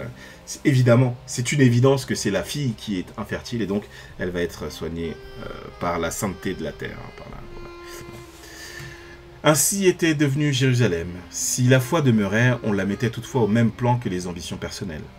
De ville sainte, elle avait évolué en paradis des fanatiques du pouvoir, du prestige et de la domination. Bâtard, frère cadet de Seigneur, Seigneur déchu, Seigneur insatisfait, tous n'aspiraient qu'à y trouver un second souffle. Mais point du souffle de Dieu, non. Du souffle de la puissance, celui qui émanait purement et simplement de Satan. Voilà le nom de son adversaire, assurément le plus redoutable. L'ange qui, se prenant pour Dieu, finit diable. Voilà ce que tous ces hommes avides de pouvoir étaient, des répliques de Satan. Et ils finiraient eux aussi dans les plaines ardentes de l'enfer, rien de plus sûr. Seulement, ne devrait-il pas les y aider un peu? Et surtout, n'y en avait-il point d'autres aux ambitions plus discrètes qui mériteraient le même sort, faute de pire? Alors que dans ces cas-là, c'est toujours le bouc qui tire à blanc. Bah oui, oui, c'est ça. À présent que les Vernantes avaient quitté les lieux, il ne restait en dehors, des serviteurs que la milice des pauvres chevaliers du Christ, le roi Baudouin et Gormont, le patriarche de Jérusalem. Sire, voici les preuves dont je vous ai tant parlé, dit ce dernier. J'ai en effet beaucoup à entendre narrer leur... J'ai eu en effet beaucoup à entendre narrer leur talent et l'importance de leur rôle pour ma cité et mon royaume. Je crois savoir d'ailleurs que vous en connaissez deux parmi ces neuf. Effectivement, il s'agit des frères Hugues et Godefroy, ou peut-être devrais-je dire Messire. Euh, j'ai conservé l'habitude du temps où vous fûtes euh, gardien du Saint-Sépulcre. Les dénommés se démarquèrent des autres en avançant d'un pas et firent une révérence au roi. Ensuite, Godefroy de Saint-Omer clarifia les choses. Vous pouvez nous qualifier comme il vous plaira, votre béatitude. La disgrâce évidente de la révérence de l'autre euh, démontre la disgrâce évidente de la révérence de l'autre démontre son manque d'exercice dans les manières de cour. Commenta le souverain? Sauf votre respect, majesté. Notre rôle, dont l'importance vous a tant été narrée, ne concerne aucunement les manières de cour. Ce dont il est question, c'est la sûreté de tous chrétiens, tout chrétien, désirant légitimement se recueillir sur le tombeau de notre bien-aimé Christ, ou s'imprégner de l'atmosphère de la ville dans laquelle il a vécu, prêché et péri. Tout le monde se tint quoi? Abasourdi par la sécheresse et l'âcreté de ses propos. Comment osait-il ainsi parler à un roi avec qui il n'avait aucune affinité particulière? Beaucoup se dirent que même eux, même envers eux, il n'accepterait jamais des mots contenant un mépris aussi flagrant. Quel est votre nom? Hugues de Pince, votre Altesse. Hugues. Je ne vous connaissais guère ni vous ni vos compagnons, mais j'ai effectivement entendu parler de vous et de votre projet. Et pas seulement par sa béatitude Gormont ici présent, ni quand je suis devenu roi. J'ai entendu parler de cela lorsque mon cousin était encore souverain. Et je vais vous dire, il trouvait ce projet extravagant et insensé. Il affirmait alors qu'Hugues de Pince n'était que la moitié du grand seigneur et preux qu'il fut parce qu'il avait l'esprit altéré depuis l'an de grâce 1099, donc depuis la première croisade. La deuxième croisade n'a pas encore eu lieu, hein, donc euh, depuis la, la croisade, je devrais dire. La stabilisation des États latins et la protection absolue des pèlerins du monde entier Extravagance occasionnée en partie par la bonté et en majorité par la folie. Il vous haïssait car votre discours insensé risquait de créer des rêves qu'il ne serait pas en mesure de réaliser. Il demandait toujours comment il pourrait protéger les pèlerins quand il n'était point sûr de pouvoir protéger ses sujets. Mais je vais vous dire autre chose. Mon, mon défunt cousin, Dieu et son âme, était une merdaille doublée d'un pleutre. Pour ma part, je n'affectionne en rien plus euh, que les projets extravagants et insensés. C'est seul, cela seul rapproche l'humanité de son Créateur. Est-ce vrai, Votre Majesté? interrogea Godefroy très surpris. Dois-je entendre là une accusation de menterie? Non, sire, euh, bien évidemment que non. Évidemment, ne saurais-je donc point identifier l'évidence par moi-même? Non, enfin, oui, enfin, je veux dire, euh, ce n'est pas que... Laissez-le en paix, sire. Vous savez combien le voyage qu'ils ont effectué est euh, éprouvant. Certes, je plaisantais, messire, apaisez-vous. L'humour est la première qualité de l'homme sage. Tâchez de vous en doter. Outre cela, Gormont m'a fait part de vos prétentions à l'ancien temple de Salomon. Je dois vous prévenir que, malgré toute l'importance de ce bâtiment, il fut profané par les Ismaélites, donc les Sarrasins. Ils en ont fait une de leurs mesquitos. mosquée. Donc, j'ai voulu introduire pas mal de choses sur le, langage, les langues et tout. De plus, étant donné le nombre des leurs qui trouvèrent la mort sur le mont du Temple, non loin de là, le bruit court que des mannes s'y sont installés, donc des fantômes, hein, c'est ça que ça veut dire. Mes serviteurs rechignent à le tenir propre. Il n'est pas rare que je doive ordonner le sacrifice de l'un d'eux pour obtenir l'obéissance du reste. Et je ne suis roi que depuis quelques mois. Est-ce-vous certain de vouloir y coucher? Jérusalem est grande, les couches n'y manquent point. Ne vous en faites point, sire. Les morts ne nous effraient guère. S'il nous faut, nous les tuerons encore une fois. S'il le faut, nous les tuerons encore une fois. Alors, pardon, je, lisais qui, qui est-ce qui disait ça. Permets-moi de te rectifier, frère Godefroy, répliqua le patriarche. C'est justement là la chose effrayante chez les mânes. Lorsqu'ils sont mauvais esprits, on ne peut les auxilier une seconde fois. Tout ce que l'on peut, c'est les guider vers l'enfer où est leur place, à force de prière. Quoi qu'il en soit, messire, si votre avis ne change, euh, ne change, un serviteur vous amènera à vos couches. Comme un seul homme, la milice salua respectueusement le roi de Jérusalem par une révérence. Devancés par un valet, ils quittèrent la citadelle et arpentèrent les rues de la ville, traversant successivement le quartier euh, arménien et le quartier juif. Le mur occidental, comme unique vestige du temple de Salomon, prouvait qu'on les amenait au bon emplacement. Les hommes s'imaginèrent la, taille de la bâtisse et visionnèrent les prêches de Jésus. Hélas, Al-Aqsa avait un aspect beaucoup moins avenant. Son architecture ne masquait en rien son origine. Difficile de s'y projeter. Mais c'était moins la façade que les entrailles qui avaient motivé leur décision. À l'intérieur, on retrouvait les décorations orientales euh, avec notamment des moukarnas, des mosaïques et des arcs divers. Cela connotait trop, trop l'ailleurs pour euh, que les miliciens puissent, puissent en profiter. Toutefois, il serait erroné d'affirmer qu'ils les jugèrent repoussantes. La poussière montrait qu'effectivement les serviteurs ne s'y attardaient guère longtemps. Cela était plutôt un avantage car en ces lieux, ils demeuraient à l'abri des yeux d'yeux et d'oreilles indésirables. Après que les neuf chevaliers eurent choisi leur chambre, ils se réunirent dans une pièce plus vaste qui ferait office de salle commune. Un pieux silence les parcoura un à un. Entrer dans Jérusalem était une chose, mais dormir là où ils s'apprêtaient à dormir, dans de telles conditions, relevait d'une toute autre dimension.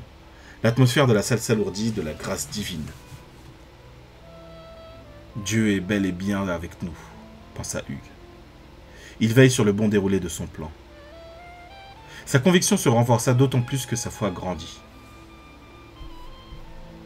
Quand ils parvinrent enfin à faire venir un serviteur, ils lui expliquèrent précisément euh, ce qu'il faudrait leur préparer comme menu et en quelle quantité. Ce soir, nulle bombance prévue. Cela appartenait à leur vie d'avant. Fini le vin, L'eau serait dorénavant la seule boisson que leur bouche verrait passer. Pour ce qui était de la nourriture, ils se contenteraient d'une bouillie de gruau avec de la viande, chose qu'ils ne s'autoriseraient que trois fois dans la semaine, et parce qu'indispensable à la vie de chevalier. Et de l'ail cru. Ce dernier aliment n'était pas des moindres. Loin d'être culinaire, la raison de sa présence au menu s'avérait plutôt sanitaire et symbolique. Sanitaire car l'ail avait des vertus antimicrobiennes et agissait contre les mycoses causées par la chaleur des chausses et des côtes de maille.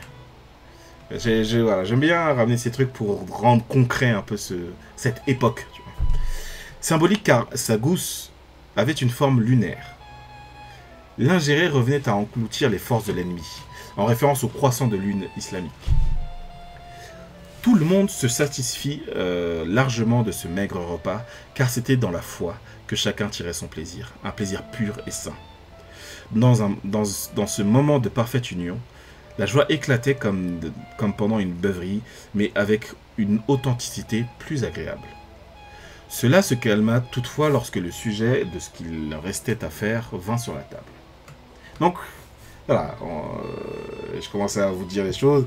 Euh, donc, on a commencé à découvrir que, bon, voilà, le projet qui vient, pour lequel ils viennent à Jérusalem, c'est euh, protéger le voyage des pèlerins, protéger aussi l'État, machin, bon, être dans une mission de protection. Mais il y a un but caché. Peut-être qu'ils vont en parler là. On y est Le temple de Salomon se réjouit Geoffroy Brisol. Incroyable, n'est-ce pas? Certainement, répondit Archambault. Maintenant, il ne nous reste plus qu'à creuser jusqu'à exhumer la vérité. Donc oui, ils vont commencer à... Voilà, ils, veulent, ils sont là pour chercher quelque chose, chercher à exhumer quelque chose. Hélas, non, mes frères. Quoi? Frère Godefroy a raison, répliqua le frère Hugues. Il nous faut avant tout nous assurer de pouvoir agir sans être empêchés de rien. Et cela nécessitera quelques manigances. C'est parfait là avec la fin de la musique. Fin de chapitre donc. Ok, ok. Chapitre 9. Des idées et des sens. Que devons-nous faire alors sans qu'il sans qu'il Armand de barre Donc voilà, fin de chapitre, mais on continue sur, la même histoire. Parce que je me demandais où là, où est-ce que ça va, mais on va voir tout de suite. Notre premier obstacle est sa béatitude. Nous sommes sous son commandement et son consentement est des plus incertains. Sa crainte de Dieu est telle qu'il s'attend à croiser le diable à chaque coin de rue. Il est donc impératif que notre milieu sera reconnu par l'Église et qu'elle ne dépende de nul autre que sa sainteté en personne. N'aurions-nous pu régler cela avant de venir à Jérusalem? D'ici, le chemin jusqu'à Rome est beaucoup plus long. Jusqu'à présent, nous ne sommes rien d'autre qu'une douce illusion, un idéal fantasque. Ce qui m'amène à notre deuxième impératif. Afin de, trouver, de prouver notre valeur et même notre nécessité, la protection des pèlerins sera notre éventaire. Sancte parole, frère Hugues. Je te remercie, frère Andier. Enfin, pardon. Sancte parole, frère Hugues. Voilà, je le fais comme ça, André de Lombard. Je te remercie, frère André. Il n'y a pas que cela. Bien que Jérusalem soit nôtre depuis près de 20 ans, il ne faut omettre la volonté des Sarrasins de nous la dérober de nouveau. Si nous souhaitons éviter qu'ils guerroient contre nous, nous devons faire en sorte qu'ils guerroient entre eux. C'est selon moi la chose la plus importante à mettre en place. Ah, donc il va y avoir un peu, de politique, un peu de, un peu de Game of Thrones un peu de manipulation, machin, de trahison, des, choses comme ça, quoi, voilà. C'est l'évidence, confirma Godefroy, que ses frères surnommaient désormais deux épées. Donc c'est lui qui a les deux épées, hein. c'est le, le Dark Maul de, l'équipe, quoi. Euh, il, se peut. L'important est qu'avant de commencer notre quest, nous aurons, à sécuriser, nous aurons à sécuriser le royaume contre les brigands et contre les impies. J'ai songé à une solution pour les seconds. À l'époque où je servais réellement l'église du Saint-Sépulcre, j'ai ouï parler d'une communauté dissidente, parmi eux mais non violente. Remédions à ce dernier point et la paix sera garantie à notre frontière. Est-ce que vous sentez l'histoire qui, commence à avancer là? Aïe aïe aïe aïe aïe aïe aïe aïe aïe Alors euh, voilà. Euh, cela m'apparaît juste, mon frère, jugea Gondomar. Mais qu'en est-il de la paix dans nos frontières J'admets que sur ce terrain, les idées me font défaut. Fort heureusement, mon frère, tu n'es pas le seul à avoir servi au Saint-Sépulcre et à avoir pensé à la façon de renforcer la sécurité de la ville et du royaume. Tu en as donc une idée, frère Godefroy Je n'ai pas une idée, j'ai l'idée qu'il nous faut. Lorsque nous étions au Saint-Sépulcre, la sûreté était déplorable autant à l'intérieur qu'à l'extérieur des murs de la ville. Mais il y avait déjà un lieu plus propice aux, aux violences que les autres. Le détroit. Le fameux détroit. Et l'attaque essuyée par les Vernantes montre que c'est toujours cette même région qui est aujourd'hui problématique. C'est donc là que nous installerons une tour de guet. Une tour de guet. L'idée n'est pas mauvaise, certes, et c'est ce pourquoi elle s'est déjà vue suggérée comme solution, mais en réalité, elle ne fait que soulever un problème supplémentaire, le manque d'effectifs. Le manque d'effectifs, dis-tu Ce problème supplémentaire t'a-t-il entravé lorsqu'il s'est agi de secourir les Vernantes? Ce n'est pas non, mon frère, réponds simplement. Certes, mais point de mais.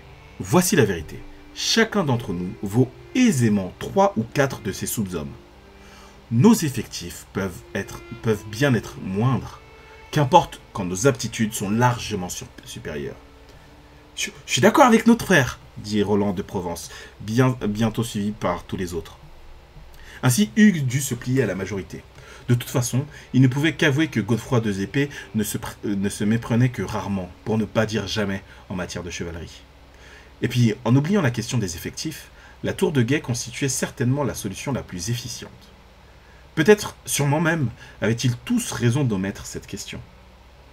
En effet, ils avaient bel et bien eu le dessus sur les pillards sans recueillir des compétences extraordinaires. Possédaient-ils véritablement des aptitudes largement supérieures à celles des Sarrasins?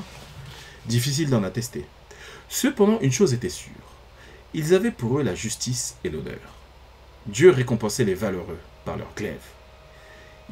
Pardon, Dieu récompensait les valeureux. Par leur glaive, il châtirait les mécréants. La milice se divisa, en trois dans le but d'optimiser son efficacité.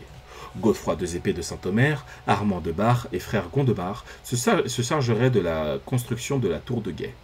À Roland de Provence, Païen de Montdidier et André Persecarne de, euh, de Montbard pardon, échoueraient la tâche de renforcement de la sûreté de la ville.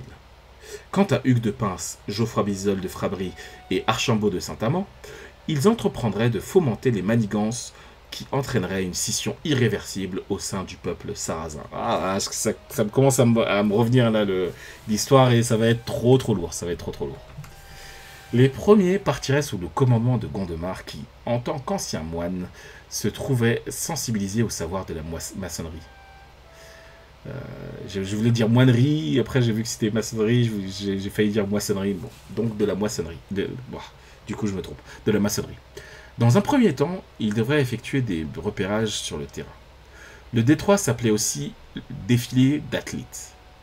Athlete en arabe. Il se constituait en une bande de terre bordée par la Méditerranée à une centaine de kilomètres au nord de Jérusalem. Désirant voyager tranquillement, les trois frères y passeraient donc la journée et la nuit du lendemain. C'est pourquoi, lorsque l'échéance arriva, ils quittèrent tout le monde juste après avoir célébré la, prime. Donc la prime, voilà, c'est une, prière, je sais pas, ça doit être la, la, première prière, euh, je sais pas, peut-être à 5 heures, peut-être à 6 heures. Première prière de la journée.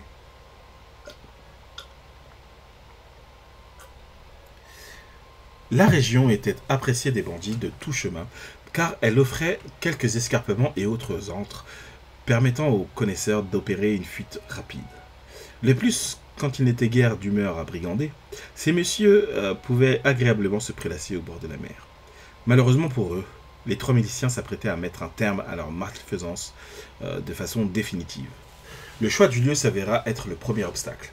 Effectivement, il fallait arpenter toute la bande qui s'étendait entre Césarée et Haïfa, en retenant les points les plus intéressants, puis en les comparant. Parcourant les 40 km de long maintes fois, ce ne fut qu'après 5 heures de trot euh, et, de réflexion que le choix se porta sur un tertre rocheux. Après quoi, ils en profitèrent pour flâner dans les villes environnantes dans le but d'observer l'état du royaume. Lorsque la nuit s'invita, ils retournèrent dans des espaces moins fréquentés et plantèrent une tente en attendant que le jour la chassade de rechef. Habituellement, ces zones désertes favorisaient le recentrage spirituel et le recueillement. Mais ce soir-là, Godefroy se révéla plus enclin à aborder l'autre facette de leur milice. Donc on va en apprendre un peu plus sur l'autre facette de leur. Regardez, s'écria-t-il en sortant un cimetière de ses affaires. Ce n'est pas très loin d'ici que je l'ai obtenu. À dire vrai, j'avais d'abord jeté mon dévolu sur la lame d'un de ces marauds euh, que je venais d'oxyre, mais le type qui a écharpé notre frère Rousselot en avait une bien plus mignonne. Tu veux parler de Persecarne donc oui, Rossolo, ça veut dire le... Donc il se moque de lui, quoi. Il lui dit le rouquin. Ça veut dire le... C'est comme s'il disait le rouquin, quoi. Euh, interrogea Armand. Celui-là même. Je trouve que le surnom de Rossolo lui sied davantage. Tu trouves, mon frère? N'as-tu donc vu comme il a taillé dans le félon C'était magistral? Certes. Euh, voilà, oui, parce qu'il a, il a coupé de part en part, oui, c'est vrai. La question n'est pas là, certes. La question n'est pas là, mes frères, euh, s'exclama Gondemar. De ma connaissance, la rousseur ne fut jamais cause de louange. Il n'est donc pas bon de la mettre en avant chez notre frère. Rousselot, je l'appelle car Rousselot il est. Oui, j'ai vu son forfait et il ne m'a point étonné. Cet homme est une beste, comme tous les gens de sa race. C'est l'effet de leur excédent de sang qui colore par, ailleurs leur chevelure. Ne dit-on pas des cheveux roux qu'ils sont fauves? Eh bien, fauves ils le sont également par le caractère. C'est notre frère que tu assimiles à une beste, lui qui n'est qu'amour et charité à l'instar de son créateur. Amour et charité Veux-tu que l'on aille demander son avis au cadavre perforé qui gît dans les parages? Ce que je veux, c'est que nous allions pour nous endormir. Il nous faut nous reposer de cette journée. Seuls les gens de tort écourtent les conversations. Il a raison, frère Godefroy, il vaut mieux que nous dormions. Certes, je ne dis pas le contraire, mon frère. il est un peu casse-couille comme euh, l'autre là, euh, Sinan. C'est un peu le même type de caractère, quoi. Le chef casse-couille, quoi. D'ailleurs, en ce qui concerne le Rousselot, je me complais à le compter dans nos rangs plutôt que dans ceux de l'ennemi. Simplement, je sais aussi que bien des hommes ont péri de croire contrôler leur beste, à en oublier leur état de beste. Vous avez vu comme moi le, le tafur. Je dis tafur, ouais, je vais dire comme ça, tafur. Ce climat lui a endommagé l'esprit les roues y sont certainement plus sensibles. Et lorsqu'il touchera notre frère André, j'escompte bien être suffisamment préparé pour éviter qu'il ne fasse ripaille de mes entrailles. Ah ouais, parano un peu le bouguin. À ton aise, répondit sèchement. Euh, non, pardon. À ton aise, répondit sèchement euh, frère Gondemar, terriblement agacé. La mienne serait que nous cédions la parole au songe. Ils s'exécutèrent tous, tous trois, bien que Godefroy y fût quelque peu réticent. Il s'agissait peut-être d'un pressentiment car son rêve ne fut pas très plaisant. Il se réveillait au, minuit, oyant des bruits de mâchonnement et de grognements mélangés. Frappé de stupeur, il se figea en découvrant le spectacle macabre. Au-dessus du frère Arban salivait une bête monstrueuse. Dénudant ses crocs, elle les plongea dans sa chair. Ayant saisi son cimetière, première arme qui lui passait sous la main, Il se rua sur elle en, hurlant afin de sortir frère Gondemar d'un sommeil hors de propos. En vain. Il l'assaillit donc seul, ne pouvant pas dans l'urgence perdre son temps à réveiller son frère. En se levant, il pensa être attaqué par quelque chacal ou autre sorte de goupil dont regorgent ces pays d'infidèles. Mais en s'approchant, il reconnut abasourdi son frère André. Les traits défigurés par la fureur, il, lui, il ressemblait bien à la bête qui sommeillait en lui. Le plus, le plus incroyable fut ce cuir contre lequel son sabre ricochait sans causer nul dommage, ne fût-ce même qu'une légère entaille. Il s'attela donc à la blesser par les poings. Ses chances de réussite étaient minces, mais elles étaient toujours supérieures à, celles de la capitulation. À force d'empoignades, ils finirent par déchirer la, toile de la tente euh, et euh, rouler euh, en dehors tels des chiens sauvages. Godefroy alternait les crochets avortés et les esquives de crocs heureusement réussis. Oui, d'accord. Il lui esquive les, petites attaques là. C'est sur lui que pleuvaient désormais les gouttes de salive. Il y mit fin en explosant le crâne, en lui explosant le crâne sur le tertre choisi euh, comme emplacement de la tour de tes droits. Seulement, c'est de sang chaud qu'il se trouva, c'est de sang chaud se trouvera alors trempé, qui se retrouva alors trempé. Secoué par la main de Gondomar, le membre de la prestigieuse famille de Saint-Omer revint à la veille, trempé non plus de sang ni de salive, mais de sueur. À la tête du lotajarien Armand, il comprit que tout cela ne fut qu'un mauvais rêve. Peut-être avait-il abusé de nourriture sans s'en rendre compte, car les mauvais rêves étaient l'apanage des grands gourmands et des âmes tourmentées. Là aussi, voilà, les croyances de l'époque. Peu de temps après, Gondemar, Armand et Godefroy se remirent en selle. Il rentrait à, Jérusalem à temps pour les nocturnes. Avec trois objectifs. Le premier serait d'annoncer leur choix à leurs frères d'abord, puis au patriarche Gormont puisque la hiérarchie l'imposait. En deuxième, il serait question de dessiner le plan de la tour. Cela était aussi facile qu'indispensable. L'ultime objectif se ferait plus délicat.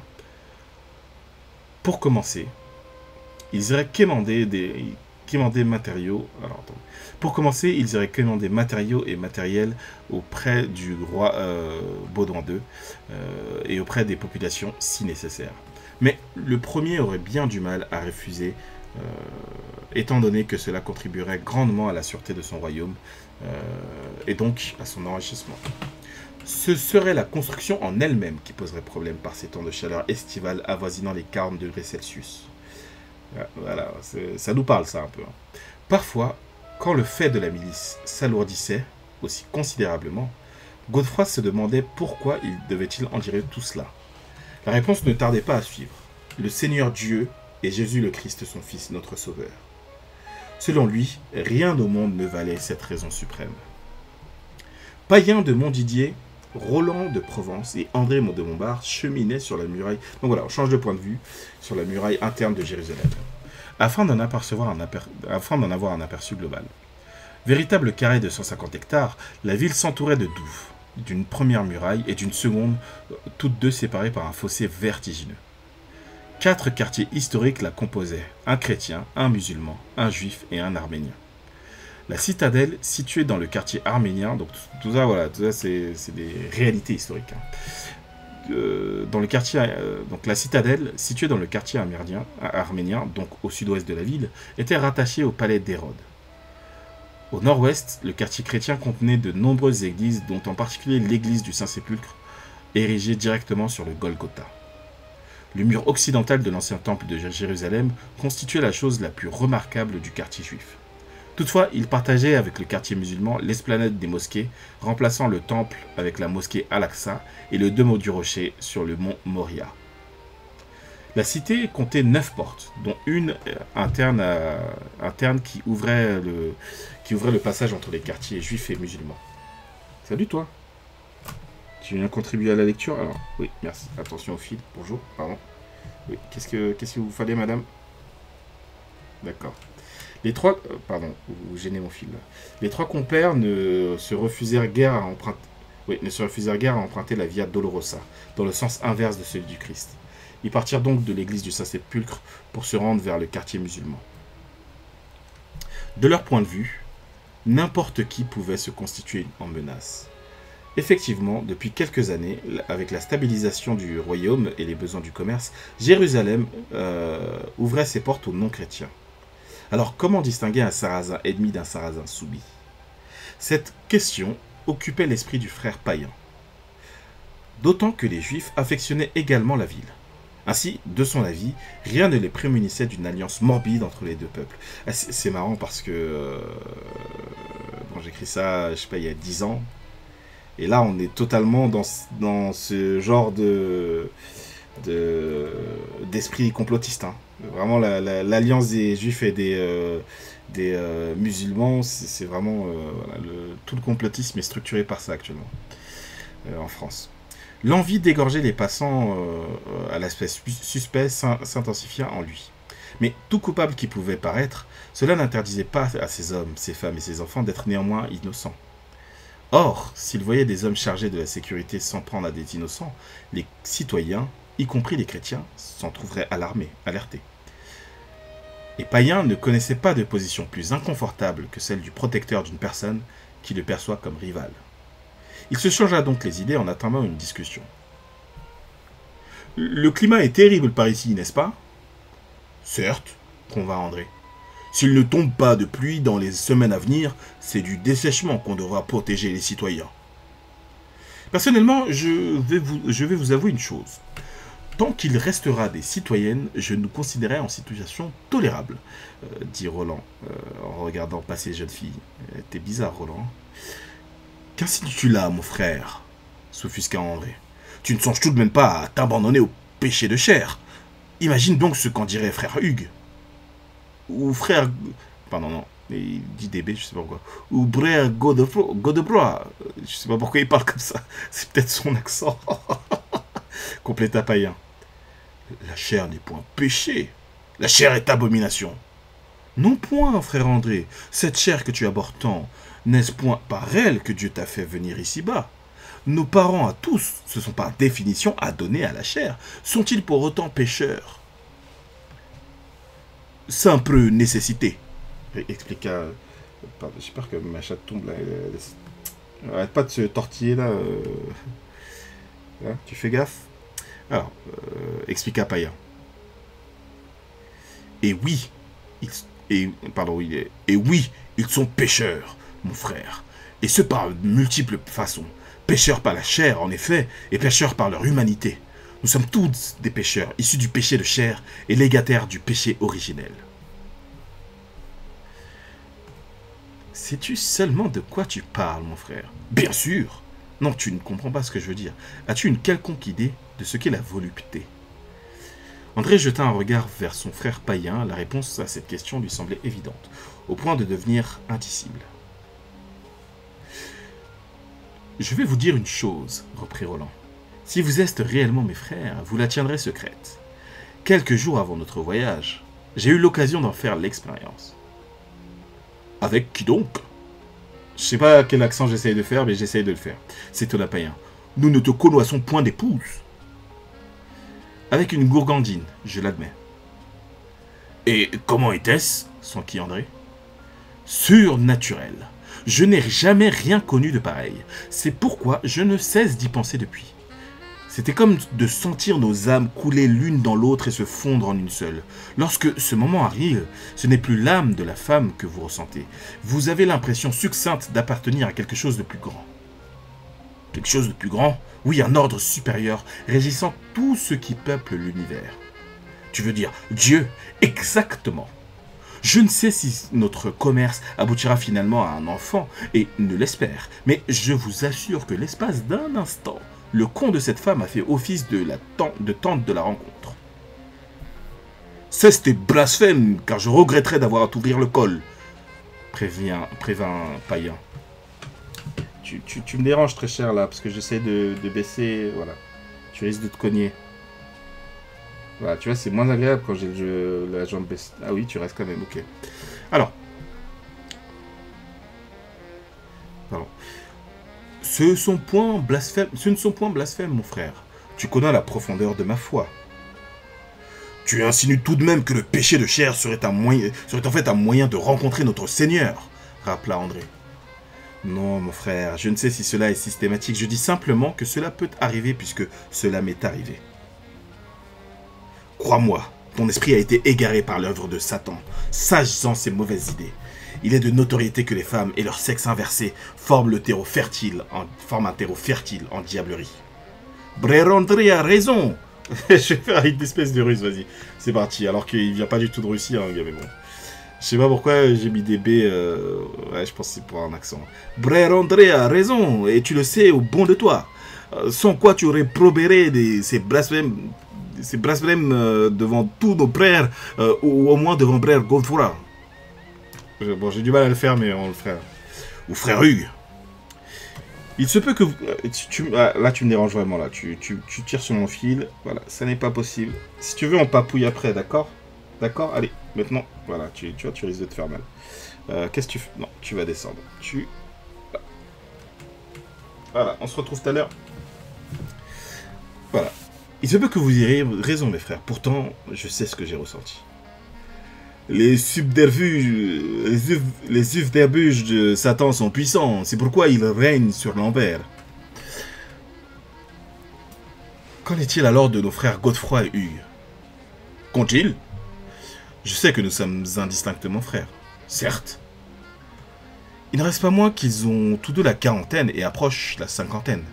Leurs âges sont donc le double des nôtres. Et alors?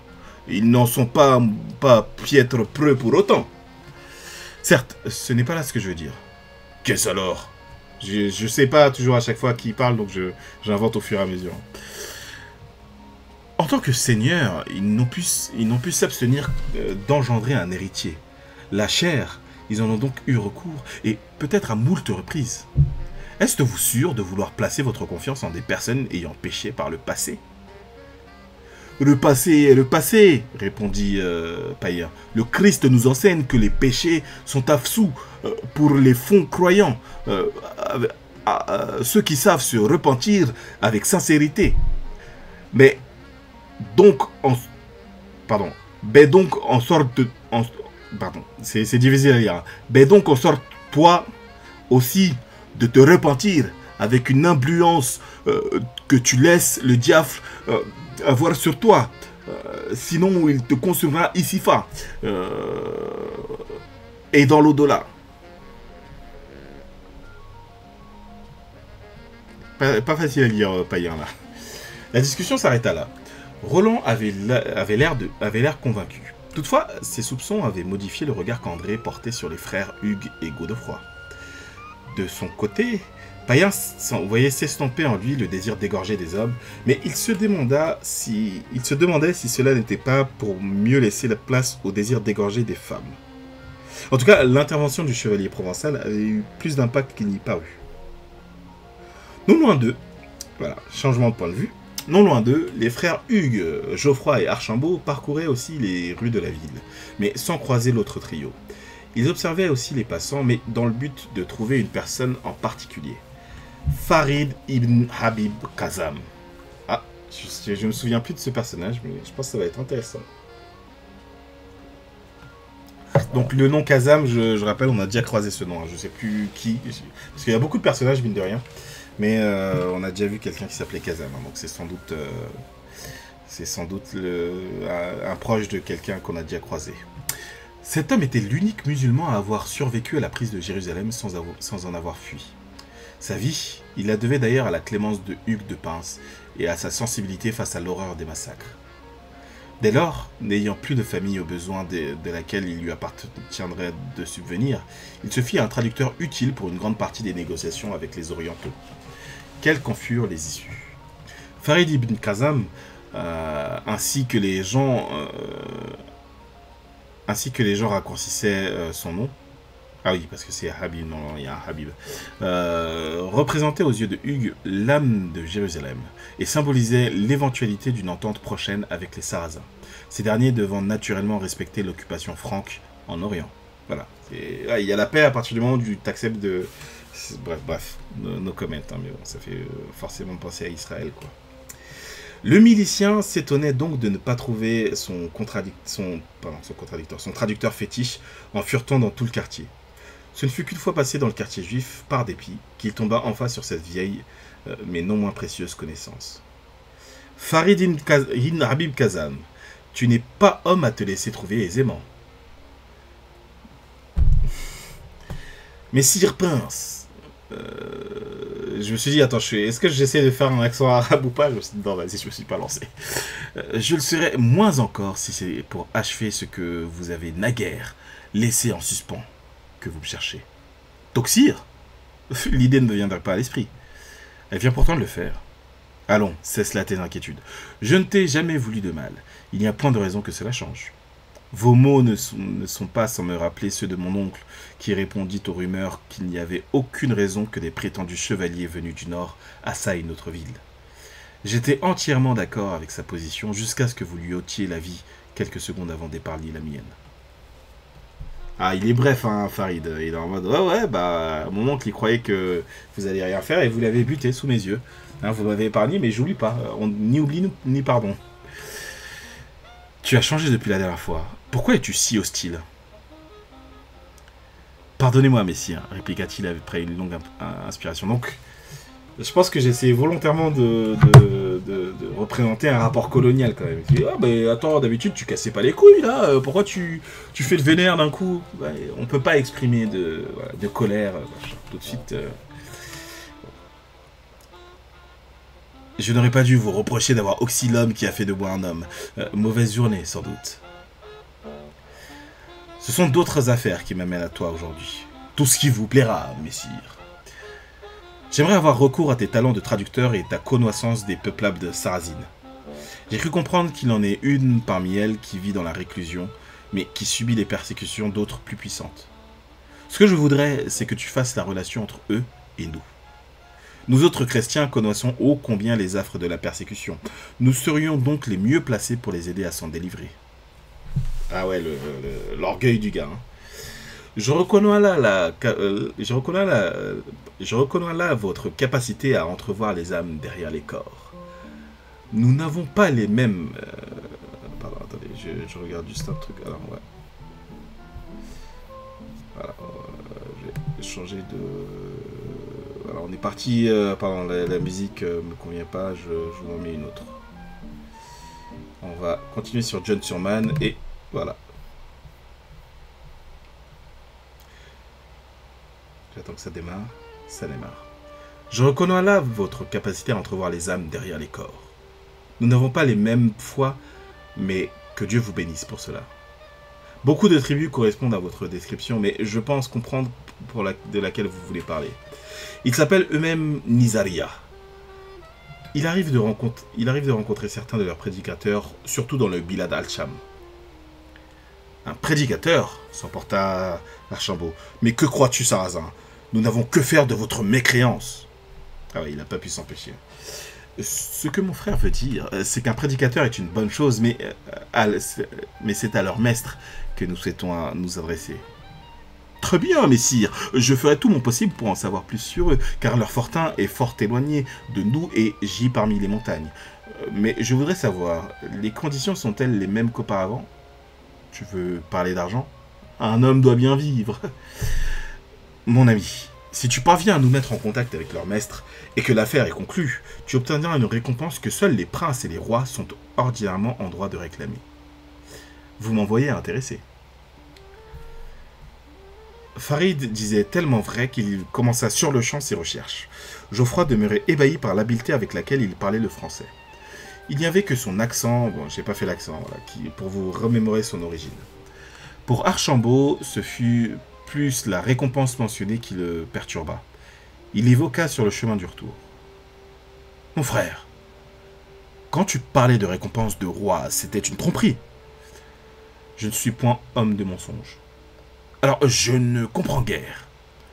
Ce matin, j'ai reçu une lettre de Cludy, envoyée par notre frère Pierre. Je ne voulais pas en parler, euh, je ne voulais en parler que lorsque nous serions tous ensemble, mais je peux quand même vous en révéler le contenu. Pierre m'informe qu'il a longuement discuté de notre mission avec l'abbé de Clairvaux. Elle semble l'intéresser grandement. Et puisque c'est un homme dont l'influence ne cesse de croître, nous pourrions obtenir un statut officiel plus rapidement que prévu. Je vous le déclare, mes frères, la grande supercherie sera très prochainement dévoilée au grand jour. Hey, ça sent la fin de chapitre là. Ouais, ouais, ouais, voilà. Euh, alors, fin de chapitre, voilà. Ensuite, ce sera le chapitre 10. On va lire le chapitre 10 et on, terminera après. Je veux juste dire que l'abbé de Clairvaux, en l'occurrence, il me semble que c'est Bernard de Clairvaux, qui, euh, que nous on appelle Saint Bernard maintenant. Euh, je crois qu'on va le voir dans, le, dans, le, dans, ce tome-là. Et donc, ce qu'on lit là, on va lire ensuite un dernier chapitre, mais ce roman s'appelle Le Dieu qui n'a qu'un œil et c'est le tome 1. Tome 1, Les bâtisseurs, j'avais appelé ça comme ça. Parce qu'il y avait un tome 2 de prévu, et je crois que même il y avait un 3 machin, mais le tome 2 en tout cas, c'était la deuxième croisade. En fait, pour le premier tome, je voulais pas faire euh, juste la croisade, je trouvais ça relou, euh, parce que c'était un thème un peu, un peu miné, euh, avec l'idée de, de conflit de civilisation, machin, de. Comment, ils appellent ça? Je sais plus comment ils appellent ça, les, les fachos, bref. Euh, guerre de, non, pas guerre de civilisation, mais bref. Euh, donc, euh, je voulais pas rentrer là-dedans, mais je me suis dit, bah, on va aller sur le moment où les, les Templiers se créent. Oui, on les appelle pas encore Templiers, mais voilà. On va voir quel est leur plan secret, quelle est, cette grande supercherie dont ils parlent, etc. Qu'est-ce qui se cache, quelle est leur, volonté, quelle est leur euh, vraie mission. Euh, et donc pour le tome 2, je voulais partir, si je me souviens bien, sur la deuxième croisade, euh, en partant de ce, cet abbé, donc Bernard de Clairvaux, qui est celui qui a lancé l'appel, si je me souviens bien, pour la deuxième croisade. Euh, mais je pense qu'on va le voir, voilà, je peux commencer à spoiler, je, pense qu'on va le voir euh, euh, à Rome, dans ce tome-là. bon, on va voir. Au Vatican, pour être précis. Donc, chapitre 10. L'aurore éblouissante. Je crois que tout cela va bien trop loin. Avez-vous oublié qu'il est notre calife bien-aimé, le descendant légitime de Fatima Zahra? Qu'en pensez-vous, directeur? N'est-ce pas moi qui suis son vizir Et qui fut celui de son père à la suite du mien propre? Je me réjouis d'apprendre que vous savez sa famille. Sachez alors également qu'en tant que Fatimiyoun, le calife est élu de Dieu et donc commandeur des croyants. Le calife n'est qu'un gamin. Il est en âge de régner, certes, mais point en maturité. Connaissez-vous sa dernière lubie concernant la situation à Alexandrie? Il a engagé des mercenaires. N'est-ce pas vous qui préconisiez des interventions directes à ce sujet? Avec des soldats, euh, des hommes d'honneur et de valeur, non des rustres ne se dévouant qu'aux plus offrants. Vous n'avez que vous à blâmer pour ces erreurs, car elles ne sont que le fruit de votre inclination à la sédition. C'est un comble. Il faudrait laisser les pleins pouvoirs à ce poupard sous prétexte que, dans le cas contraire, il dirigerait le califat de façon immature. Je dis seulement qu'il faut respecter son statut. D'accord. Écoutez-moi tous, et surtout toi, directeur. Vous appartenez aujourd'hui à la partie la plus influente de l'État. Et je ne doute pas que vous ayez pleine conscience de l'importance de ma contribution dans cela. Or, en agissant ainsi, je ne fais que perpétuer un travail amorcé par mon défunt paternel. Je n'ai donc rien à prouver à aucun d'entre vous. Aussi, je vous demanderai de considérer soigneusement mes propos lorsque je vous dis que le prince est un obstacle à son propre développement, à l'expansion de cet État que nous chérissons tous et à notre enrichissement. Je te rappelle que ce n'est pas Zalamir qui a perdu nos terres au profit des franges. Une tension hivernale s'abattit sur la cour d'Alafdal à ces mots. Chacun se demandait si l'inéluctable violence de sa réplique se bornerait au langage ou déborderait dans les actes.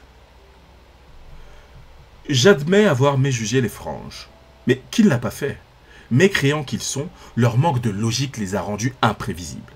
Cela est, maintenant révolu. Il semblerait qu'Al-Quds, donc Jérusalem, était leur cible principale. Nous allons donc la leur laisser jusqu'à ce que nous ayons, nous ayons repris toutes les autres cités. Reprises toutes les autres cités. Cet objectif ne se verra toutefois atteindre pardon, ne se verra toutefois atteint que si nous empêchons notre prince d'infester nos territoires de, pardon, de mercenaires. Je suis d'accord avec toi, Shancha. Seulement, Shancha, c'est son nom de famille. Hein. Choc, ouais, choc culturel, je crois. Choc de civilisation, ouais, voilà, c'est ça, c'est bien vu. Le choc de civilisation. Alors, je vais me euh, reprendre un peu, d'eau là. Faut un peu rafraîchir le gosier. Je suis d'accord avec toi, Charancha. Seulement tes plans ne doivent pas inclure d'écarter sa grandeur. Ah bon? Euh, Et pourquoi cette fantaisie? Petit coup d'eau.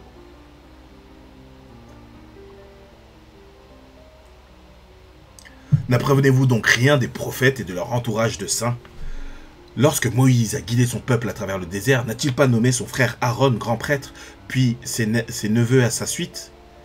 Et lorsque le Massie Issa, donc Jésus, euh, donc le Messie euh, Jésus, c'est ça que ça veut dire, hein, ce qu'on entend, fils de Myriam, a prêché auprès de, des descendants d'Israël, ne s'est-il guère entouré de disciples? N'en est-il pas de même pour le prophète et ses compagnons?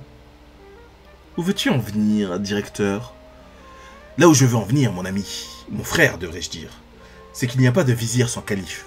Aussi vrai qu'il n'y a pas de père sans mère. C'est lui, il est, il est un peu manif pour tous, lui, un hein, papa, une maman. c'est sur vous deux que repose l'équilibre du califat, car vous représentez l'union des pouvoirs du Très-Haut et de l'ici-bas. Ôte-toi du jam, mon frère, et tu perceras la complexité de la marche. Al-Afdal s'apprêtait à répondre lorsqu'un valet entra dans la pièce, signalant que la cour restreinte devait rejoindre la, grande cour du calife. Les hommes vidèrent donc peu à peu les lieux afin de ne pas arriver en troupeau au palais oriental. Le, trajet ne prenait que 5 à 10 minutes. Pourtant, le vizir se sentait éloigné du centre administratif. S'il était vrai que l'État devrait prospérer grâce à, euh, grâce à leur duo, pourquoi le prince l'avait-il expédié du palais occidental? La ravissante Kaina ne paraissait guère gravide. Donc gravide enceinte. Hein. Il ne s'agissait donc pas de l'éventualité d'un héritier. L'intrigant ne voyait alors qu'une raison valable. Le trône ne souffrirait pas plus longtemps leurs deux fessiers, et Alamir le savait pertinemment. Plus que jamais sonnait l'heure de l'action. Mhm. C'est pourquoi il n'assura qu'une présence furtive et fantomatique à la cour avant de s'éclipser discrètement. Ses serviteurs voulurent naturellement le suivre, mais il refusa catégoriquement. Leur loyauté n'était guère à questionner, mais ce qu'il se préparait à faire devrait demeurer un secret absolu, y compris après sa mort. L'honneur dont il faisait mention précédemment, il s'en détournait autant honteusement, mais sans hésitation. Son père lui avait enseigné que bien souvent le héros surpassait le pleutre par sa capacité à supporter l'opprobre. Enhardi par cette pensée, il parcourut des dizaines de couloirs avant de trouver cette honte. Fort heureusement, personne ne l'accompagnait. Il s'octroya ce rôle sans perdre de temps, euh, ne négligeant pas pour autant d'admirer la robe blanche à, motif rouge qui lui enserrait le corps, au point d'en dévoiler les formes voluptueuses avant de parler. Kaina, comme tu es resplendissante aujourd'hui. Je vous remercie, vizir. Tu n'as pas à me remercier, je ne dis que la vérité. Quelques secondes de silence lui firent comprendre qu'elle attendait, qu'elle s'attendait à de simples salutations de courtoisie. Il aurait à, mener la discussion seul et avec une grande finesse d'esprit s'il désirait parvenir à ses fins. En même temps que sa bouche libérait ses paroles, son cerveau réfléchissait aux meilleures façons d'accommoder une jeune demoiselle. Nous ne, conserve- nous ne conversons que très peu, n'est-il pas? Si, c'est exact. Euh, Pourtant, ce n'est pas faute de fréquenter les mêmes couloirs ni les mêmes banquets. En effet, rétorqua-t-elle en souriant. Infamie de l'administration. Elle ne nous laisse pas assez de temps pour profiter de ceux qui nous sont proches. Ou se rapprocher de celles qui ne le sont pas, ricana-t-elle. Pardonnez-moi, vizir, mon intention n'était pas de... Ce n'est rien, Dulce Kaina. Tu as raison de dire que cela m'a coûté de trouver une femme ou perpétuer ma lignée. D'un autre côté, vos tentatives à toi et ton mari démontrent qu'étant une condition, nécessaire, le fait d'être deux ne constitue pas une condition suffisante pour autant. Évitez de rappeler le défaut d'héritier et de sous-entendre par là son infertilité. Voilà le soupçon de finesse dont il ne, fallait pas manquer. Excuse-moi, je, n'aurais pas dû. Non, non, ce n'est rien. Tu, es originaire du Maghreb, il me semble. Il, vous semble bien, pourquoi? Cela fait combien de temps que tu n'as pas vu les tiens? Trois ans. C'est bien trop long. Il faudrait les faire venir ici. Mansour s'y refuse. Il a épousé une fille à la menue condition et euh, il a eu- ouais, euh, menue condition et craint de s'attirer plus de déshonneur en, encore en affichant les gens de peu que sont sa belle famille. Un mari ne doit pas traiter sa femme avec tant d'iniquité. D'iniquité Iniquité Il veut dire iniquité. Euh, telle est ma conception, en tout cas. Ainsi, nous nous connaissons depuis trois ans. C'est cela.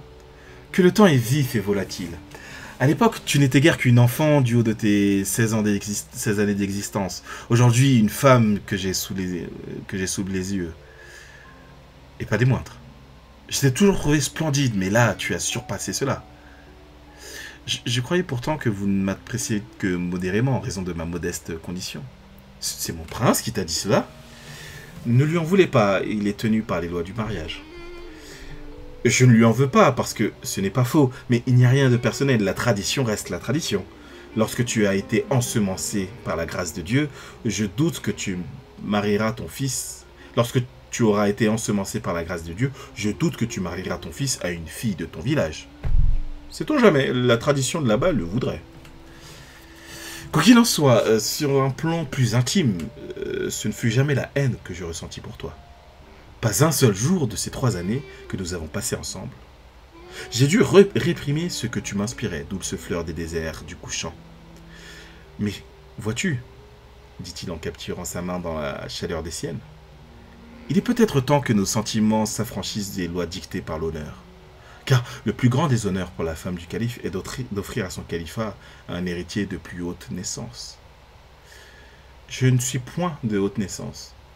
Moi non plus. Et pourtant, nous sommes les deux plus grands nobles de cet État. À l'évidence, nos sangs respectifs nous poussent à plus haute gloire. Imagine ce que cela donnerait si nous les unissions.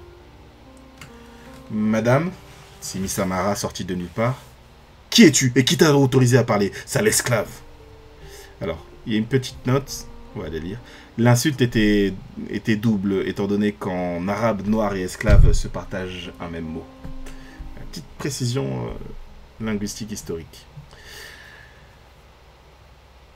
Madame, répliqua-t-elle avec force et conviction. C'est moi, en effet, vizir. Euh, Mara est ma suivante. Dans ce cas, tu ferais mieux d'en changer et de la faire pendre, parce qu'elle ne te suit guère mieux que son ombre, parce qu'elle ne te suit guère mieux que mon ombre. Il les quitta visiblement énervé par cette émission. Kaina avait par maintes fois reproché à Mara son ton impérieux qui n'essayait pas à une servante. Toutes ces tentatives s'avérèrent totalement stériles. Elle avait fini par accepter, euh, par accepter en se disant que c'était le prix pour avoir poursuivante une femme de caractère. Ravie de sa situation, elle se rendit sereinement chez son ami. Dans la salle bleue et blanche du Grand Conseil, Mansour Alamir ne C'est marrant parce que la, musique avait un petit côté un peu, euh, un peu séduction et tout pendant que l'autre essayait de la séduire. On change de point de vue. Dans la salle bleue et blanche du Grand Conseil, Mansour Alamir ne se sentait guère à son aise. Et cela ne tenait pas tant au lieu en lui-même qu'aux gens qui le fréquentaient. La pièce avait été nommée ainsi car s'y réunissait la cour. Or, chacun de ses membres s'imaginait détenir quelconque influence sur le calife ou aspirait à en acquérir. L'atmosphère était singulière. Depuis la formation d'une cour élargie et la mort du chef Bourgoumi, il ne voyait défiler sous ses yeux que des visages étrangers. Moustaches extravagantes, apparat démesuré, regard désordonné, derrière tous ces traits se cachaient des êtres en quête de reconnaissance. À cette pensée, le calife fut emporté par ses souvenirs. Dans son enfance, au cours d'un voyage officiel, il assista à une scène de bagarre entre des, enfants de son âge. Un groupe de garçons lançait des pierres sur un autre plus, grand et plus gros. Se protégeant avec ses bras, il encaissa une quinzaine de pierres pour une vingtaine de jets. Seulement la suivante l'atteignit au front, ce qui le sonna pendant quelques dizaines de secondes. Fier de l'avoir touché, le lanceur vint le narguer sous son nez avec le soutien de ses copains. Sans doute n'eut-il plus jamais, euh, sans, doute plus jamais, ne fût-ce qu'effleurer un caillou, tant le gaillard le rossa, une fois revenu dans ses esprits. Après quoi, les autres tournèrent Kazakh et se firent, euh, et se firent amis du bonhomme. Voyant qu'il observait la scène, le vizir commenta. Il eût mieux fait de tous les massacrer. En ce jour, il fixait ce même homme à l'autre bout de la table. Il escomptait bien suivre ce conseil. Ah ouais, ambiance, hein, ambiance à la cour. Hein. Mon oncle, l'appela Abdelmajid qu'il n'avait euh, n'avait pas vu arriver jusqu'à lui. Fils de ma sœur, que me veux-tu? Juste pour vous poser une question, est-ce que vous me haïssez? Tiens donc, les enfants ont de ces questions parfois, répliqua-t-il en direction d'Al Mahmoud. Retourne donc jouer avec ton ami et n'importune plus le sang du prophète. Moi aussi je suis le sang du prophète. Et de qui d'autre? On se le demande. Ah, peut-être on ne sait pas qui est le père, mais bon bref. Vous voyez, c'est pour ça que je vous demande si vous me haïssez. Dois-je te rappeler qui je suis? Ne penses-tu pas que j'ai autre chose à faire que de répondre à des questions stupides d'enfants Vous n'en avez pas l'air. Serait-ce de l'insolence que je perçois? C'est juste la vérité. Peu importe la vérité, enfant. Il est des façons de s'adresser à un successeur authentique de Muhammad. Il est aussi des, façons de traiter les enfants, à ce qu'on dit, et encore plus si c'est un neveu. Pourtant, vous n'arrêtez pas de m'appeler fils de ma sœur. Et puis ce prénom, Abdelmajid, qui veut dire serviteur du noble, donc je suis sûr que ce n'est pas elle qui me l'a donné. Moi, tu pris pour ta mère, insolent ah, Insulte, ah, pardon, pas insultant, non. Euh, euh, hurla le souverain en tapant du poing sur la table. Non, mais pour... Euh, non, mais pour son frère rétorqua le garçon, haussant également le ton. Or, vous avez tout fait pour m'écarter de la famille, comme mon grand-père l'a fait avec elle. C'est pas juste de me punir pour ce qu'a fait ma mère ou mon père, et c'est pas juste de prendre les meurtriers du chef Bourgoumi avec vous. Il était votre homme le plus fidèle et il est mort pour vous. Il est mort à cause de vous. Euh, parce qu'en plus, il va m'apprendre à gouverner. Le revers de gifle qu'il lui envoya à la joue résonna plus fort que toutes leurs paroles et projeta l'enfant au sol. Toutes les conversations se suspendirent. Le calife ordonna qu'on enferma Abdelmajid dans sa chambre avant d'exhaler. Pardon, avant d'exhaler, Connard de gosse afin de clore. Les nobles en présence en restèrent abasourdis. Le geste en lui-même n'avait rien d'extraordinaire, mais venant d'Alamir, que personne n'avait vu exercer d'autorité jusqu'à présent, il y avait de quoi être surpris. Certains y reconnurent la sévérité de son hôtesse Al-Mustahli, son père. D'autres affirmèrent que cette seule, gifle surpassait de loin toute la mollesse qui caractérisait le précédent calife. Tous s'accordaient sur une idée. Après un soufflet aussi paternel, le petit ne pourrait plus jamais se sentir mis à l'écart de la famille. C'est un peu drôle l'ironie. De son côté, la personne concernée ne considérait pas les choses sous le même angle. Pour lui, ces gifles mettaient un terme à leur peu de relations. Dans sa chambre, il faisait les 100 pas et enrageait contre des objets à défaut du frère de sa mère. Depuis combien de temps il admirait ce gros bêta, interrogeant ses sentiments pour savoir s'il pouvait prendre pour, lui la place de père? Trop, certainement. Il était allé jusqu'à se dégoter un ami fidèle et à le surnommer pour, euh, pour, pour singer le calife. Cela, il ne le regretterait en rien. Au contraire, il ne désespérait pas de voir un jour la mère d'Al-Abbas quitter son véritable prénom pour euh, ce surnom euh, qui, lui est, qui lui allait tellement mieux. Seulement, sa rage consumait ses espérances. Jusque-là, les humiliations en tout genre, jusque-là, les humiliations en tout genre, euh, il avait appris à s'y habituer, à passer outre. Sauf qu'en négociant avec les meurtriers du chef Bourgoumi, Mansour Alamir trahissait la, mémoire d'un homme dont la respectabilité n'était plus approuvée. Qu'il n'eût pas le sens de la famille passait encore, mais le sens de la loyauté, ça, il ne lui pardonnerait jamais. Ainsi, l'enfant se munissait désormais de deux espérances, de puissants désirs qui orienteraient toute sa vie s'il le fallait. Venger sa mère et venger le chef Bourgoumi. Bon, il rentre en Dark Sasuke, hein, c'est ça que ça veut dire. Par un étrange jeu de fortune, la cible de ces deux objectifs s'avérait être la même. Son hôtesse Mansour Alamir, fils de fils d'Al-Mustali, euh, dixième calife fatimide et vingtième imam mustanien, devint à ses yeux l'homme à abattre.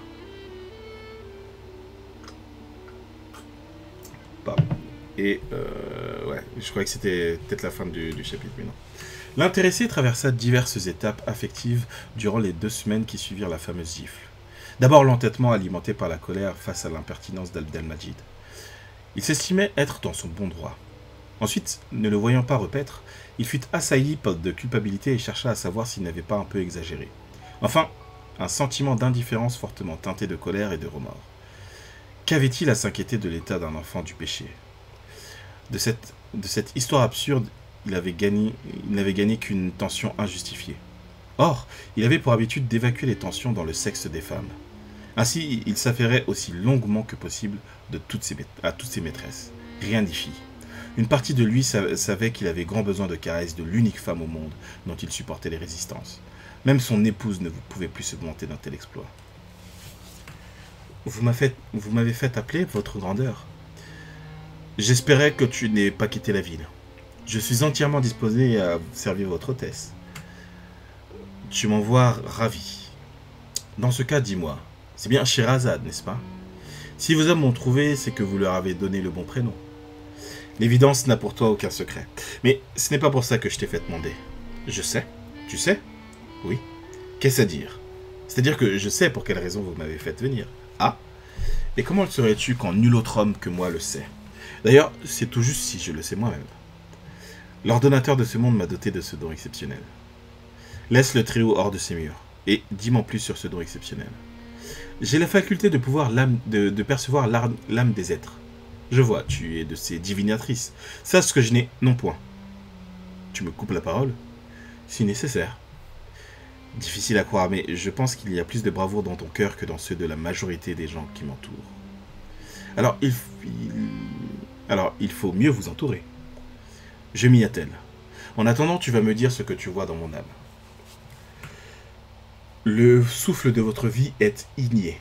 Je dirais que vous êtes un homme de pouvoir.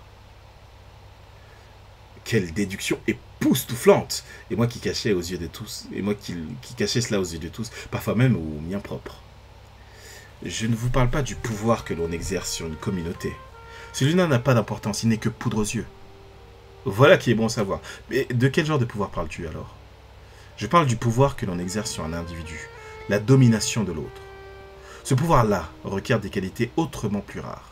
Mais je perçois aussi ce souffle prendre la forme d'une déflagration. Au risque de me brûler, de me brûler, permettez-moi d'essayer de l'étouffer. J'ai flétri des dizaines de cons dans ce sens. Bien que le tien me demeure inconnu et mystérieux, je doute qu'il ait quoi que ce soit de différent. Si vous vous en doutiez réellement, vous auriez tenté d'en jouir comme des autres. Sachez de plus que je ne compte toujours pas me servir d'autre chose que de mes mains. Ah ouais. Elle est dure, hein Malgré ses réticences, elle allongea, euh, le calife sur le ventre, l'enfourcha et plongea ses mains dans la peau de son dos. Elle, la pétrissait et la caressait à la fois. La sensation pour Mansour ne détenait de pareil. Il avait l'impression qu'elle déplaçait tout son être dans des régions précises de son corps. Après le dos, elle attaqua la nuque. L'ensemble tout bosselé de nœuds se décontracta progressivement. Vous êtes fort stressé, votre grandeur. Qui ne le serait pas Un homme pourvu d'une femme sachant le délester des soucis du quotidien. Une femme comme toi, bien sûr. C'est l'évidence. Non pas que je veuille questionner les capacités de madame. Tu peux les questionner. Il est vrai qu'elles sont loin des tiennes. Enfin, je suppose, elle ne m'a jamais proposé de massage. Lorsqu'on a un talent, on n'a qu'une envie, c'est de le partager avec ses proches. Si votre dame savait le massage, elle vous en aurait proposé aussi souvent que nécessaire. Elle le retourna et passa sur son cou, puis son torse, son ventre et ses côtes. C'était tout simplement prodigieux. Avec ses petites, ses petites mains, elle parvenait à lui donner le sentiment d'être contenue et maintenue. En effet, c'est tout entier qu'il vibrait sous ses mouvements de paume et de doigts. Encouragé par cela, il se, sentit de lire la lettre qui reposait sur sa table de chevet. Des nouvelles d'Alexandrie dont il redoutait la négativité. Une fois lu, il relut plusieurs fois le message. Pas de doute possible. Le gouverneur y annonçait le désossement des rebelles au sens propre comme au sens figuré. Son ardeur s'accrut en même temps que son hardiesse. Ah oui, c'est vrai qu'il y, a des, y a des rebelles qui, euh, avaient euh, attaqué euh, Alexandrie. Donc c'est pour ça qu'il a envoyé les mercenaires, c'est pour défaire la situation à Alexandrie. Le bien que tu me procures est inconcevable. N'essaye pas de le concevoir, contente-toi de le recevoir. Tu penses de moi que je n'oserais m'en prendre à ton con, mais si tu continues à me masser, il se pourrait que je te force à changer d'avis. Tes gestes m'enivrent cent fois plus que tous les alcools réunis. Si tu continues à me flatter, il se pourrait que je te laisse faire. Les caresses se durcirent au point de, se changer en griffures, ce qui excitait d'autant plus le jeune homme. Hélas, c'est à ce moment précis qu'un garde annonça la présence du directeur du trésor. Celui-ci, refusant de remettre sa visite au lendemain, le força à arrêter des, ébats à peine entamés et à, euh, et à se rendre euh, sur son seuil, le sexe gorgé de rancœur. MDR. Pardonnez cette visite tardive. Pardon, j'ai fait quelle voix déjà, le directeur du trésor Un truc du genre. Pardonnez cette visite tardive et impromptue, mais elle est d'une importance capitale, votre grandeur. Vous en avez grandement intérêt, directeur. Monsieur, j'ai de fortes raisons de croire que le vizir pourrait commanditer votre meurtre. Pour unique réponse, le menacé inspira et expira d'agacement. Ah oui, dans... Ah ouais, relou, quoi. C'est tout ce que vous avez à dire Cela... Euh, pardon, non, c'est... Pardon. C'est tout ce que vous avez à dire Cela ne m'étonne guère. Devrais-je feindre le contraire? Le vizir joue à un jeu dangereux dont la mort est la seule issue. Sa légitimité ne repose que sur les faits d'armes de son père il y a plus de 40 ans prestigieux mais bien mince face au noble sang de bien des nôtres. Aussi, j'en ai plus cassé de de ces manigances de poltron. Le vizir payera d'avoir gâché mon enfance, et vous, ma nuit. Comment? Un geste de tête suffit pour que les gardes comprirent l'ordre qui leur était donné.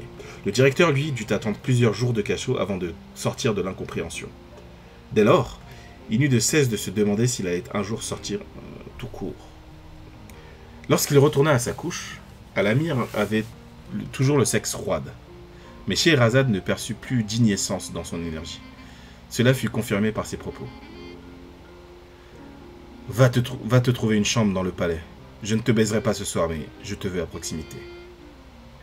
C'est romantique, hein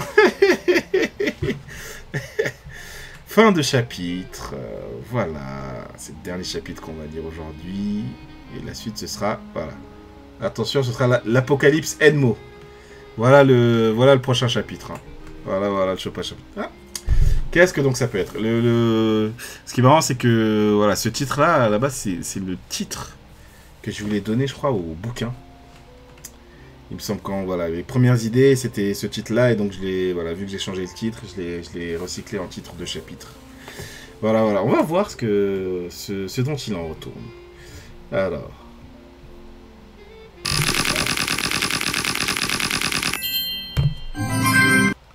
Yes. Alors voilà, c'est tout pour ce soir. il est quelle heure là? 23h22, on a fait quoi? 2h30, voilà. Ça avance, ça avance. Ça avance tout à fait. Moi, je commence à me rappeler un peu l'histoire. Ça va être intéressant. Ça va être intéressant. Pour l'instant, juste on pose des pions.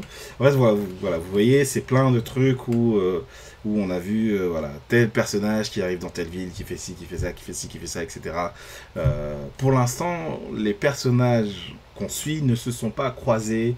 Leurs intérêts communs ne sont pas rentrés en conflit. Bon, on n'est pas encore à la moitié, mais quasiment euh, du, du, bouquin. En fait, le, prochain live, on, sera, on arrivera à la moitié.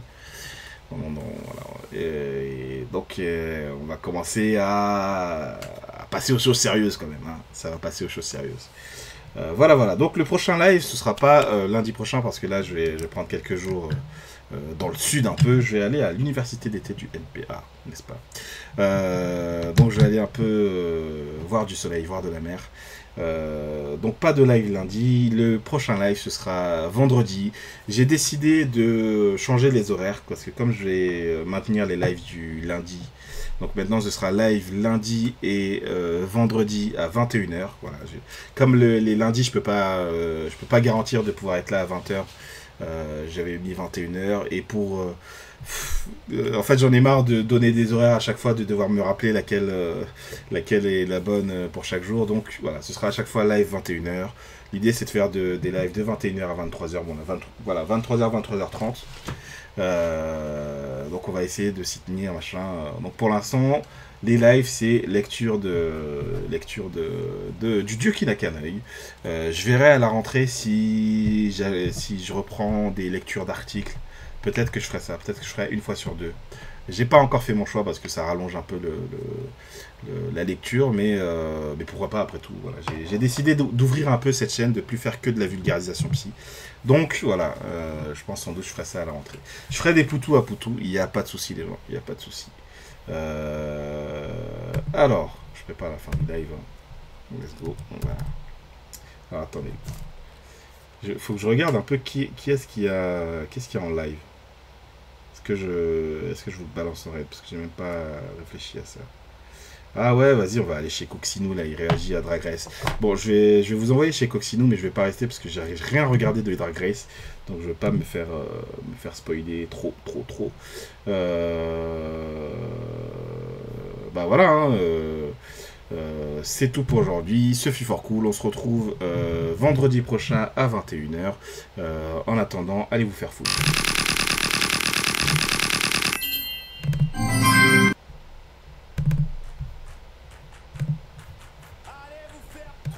les mêmes discours, toujours les mêmes airs. Hollande, Belgique, France, austère, gauche ou libéraux. Avant-centre ou centriste, ça m'est égal. Tous aussi démagogues que des artistes. Je ne dis pas ce que je pense, mais je pense ce que je dis. Quand je vois ce que je vois, est-ce que valent nos vies Pas si sûr surprenant qu'on soit mal poli? Donc vas-y, follow ma folie, ma follow, follow me.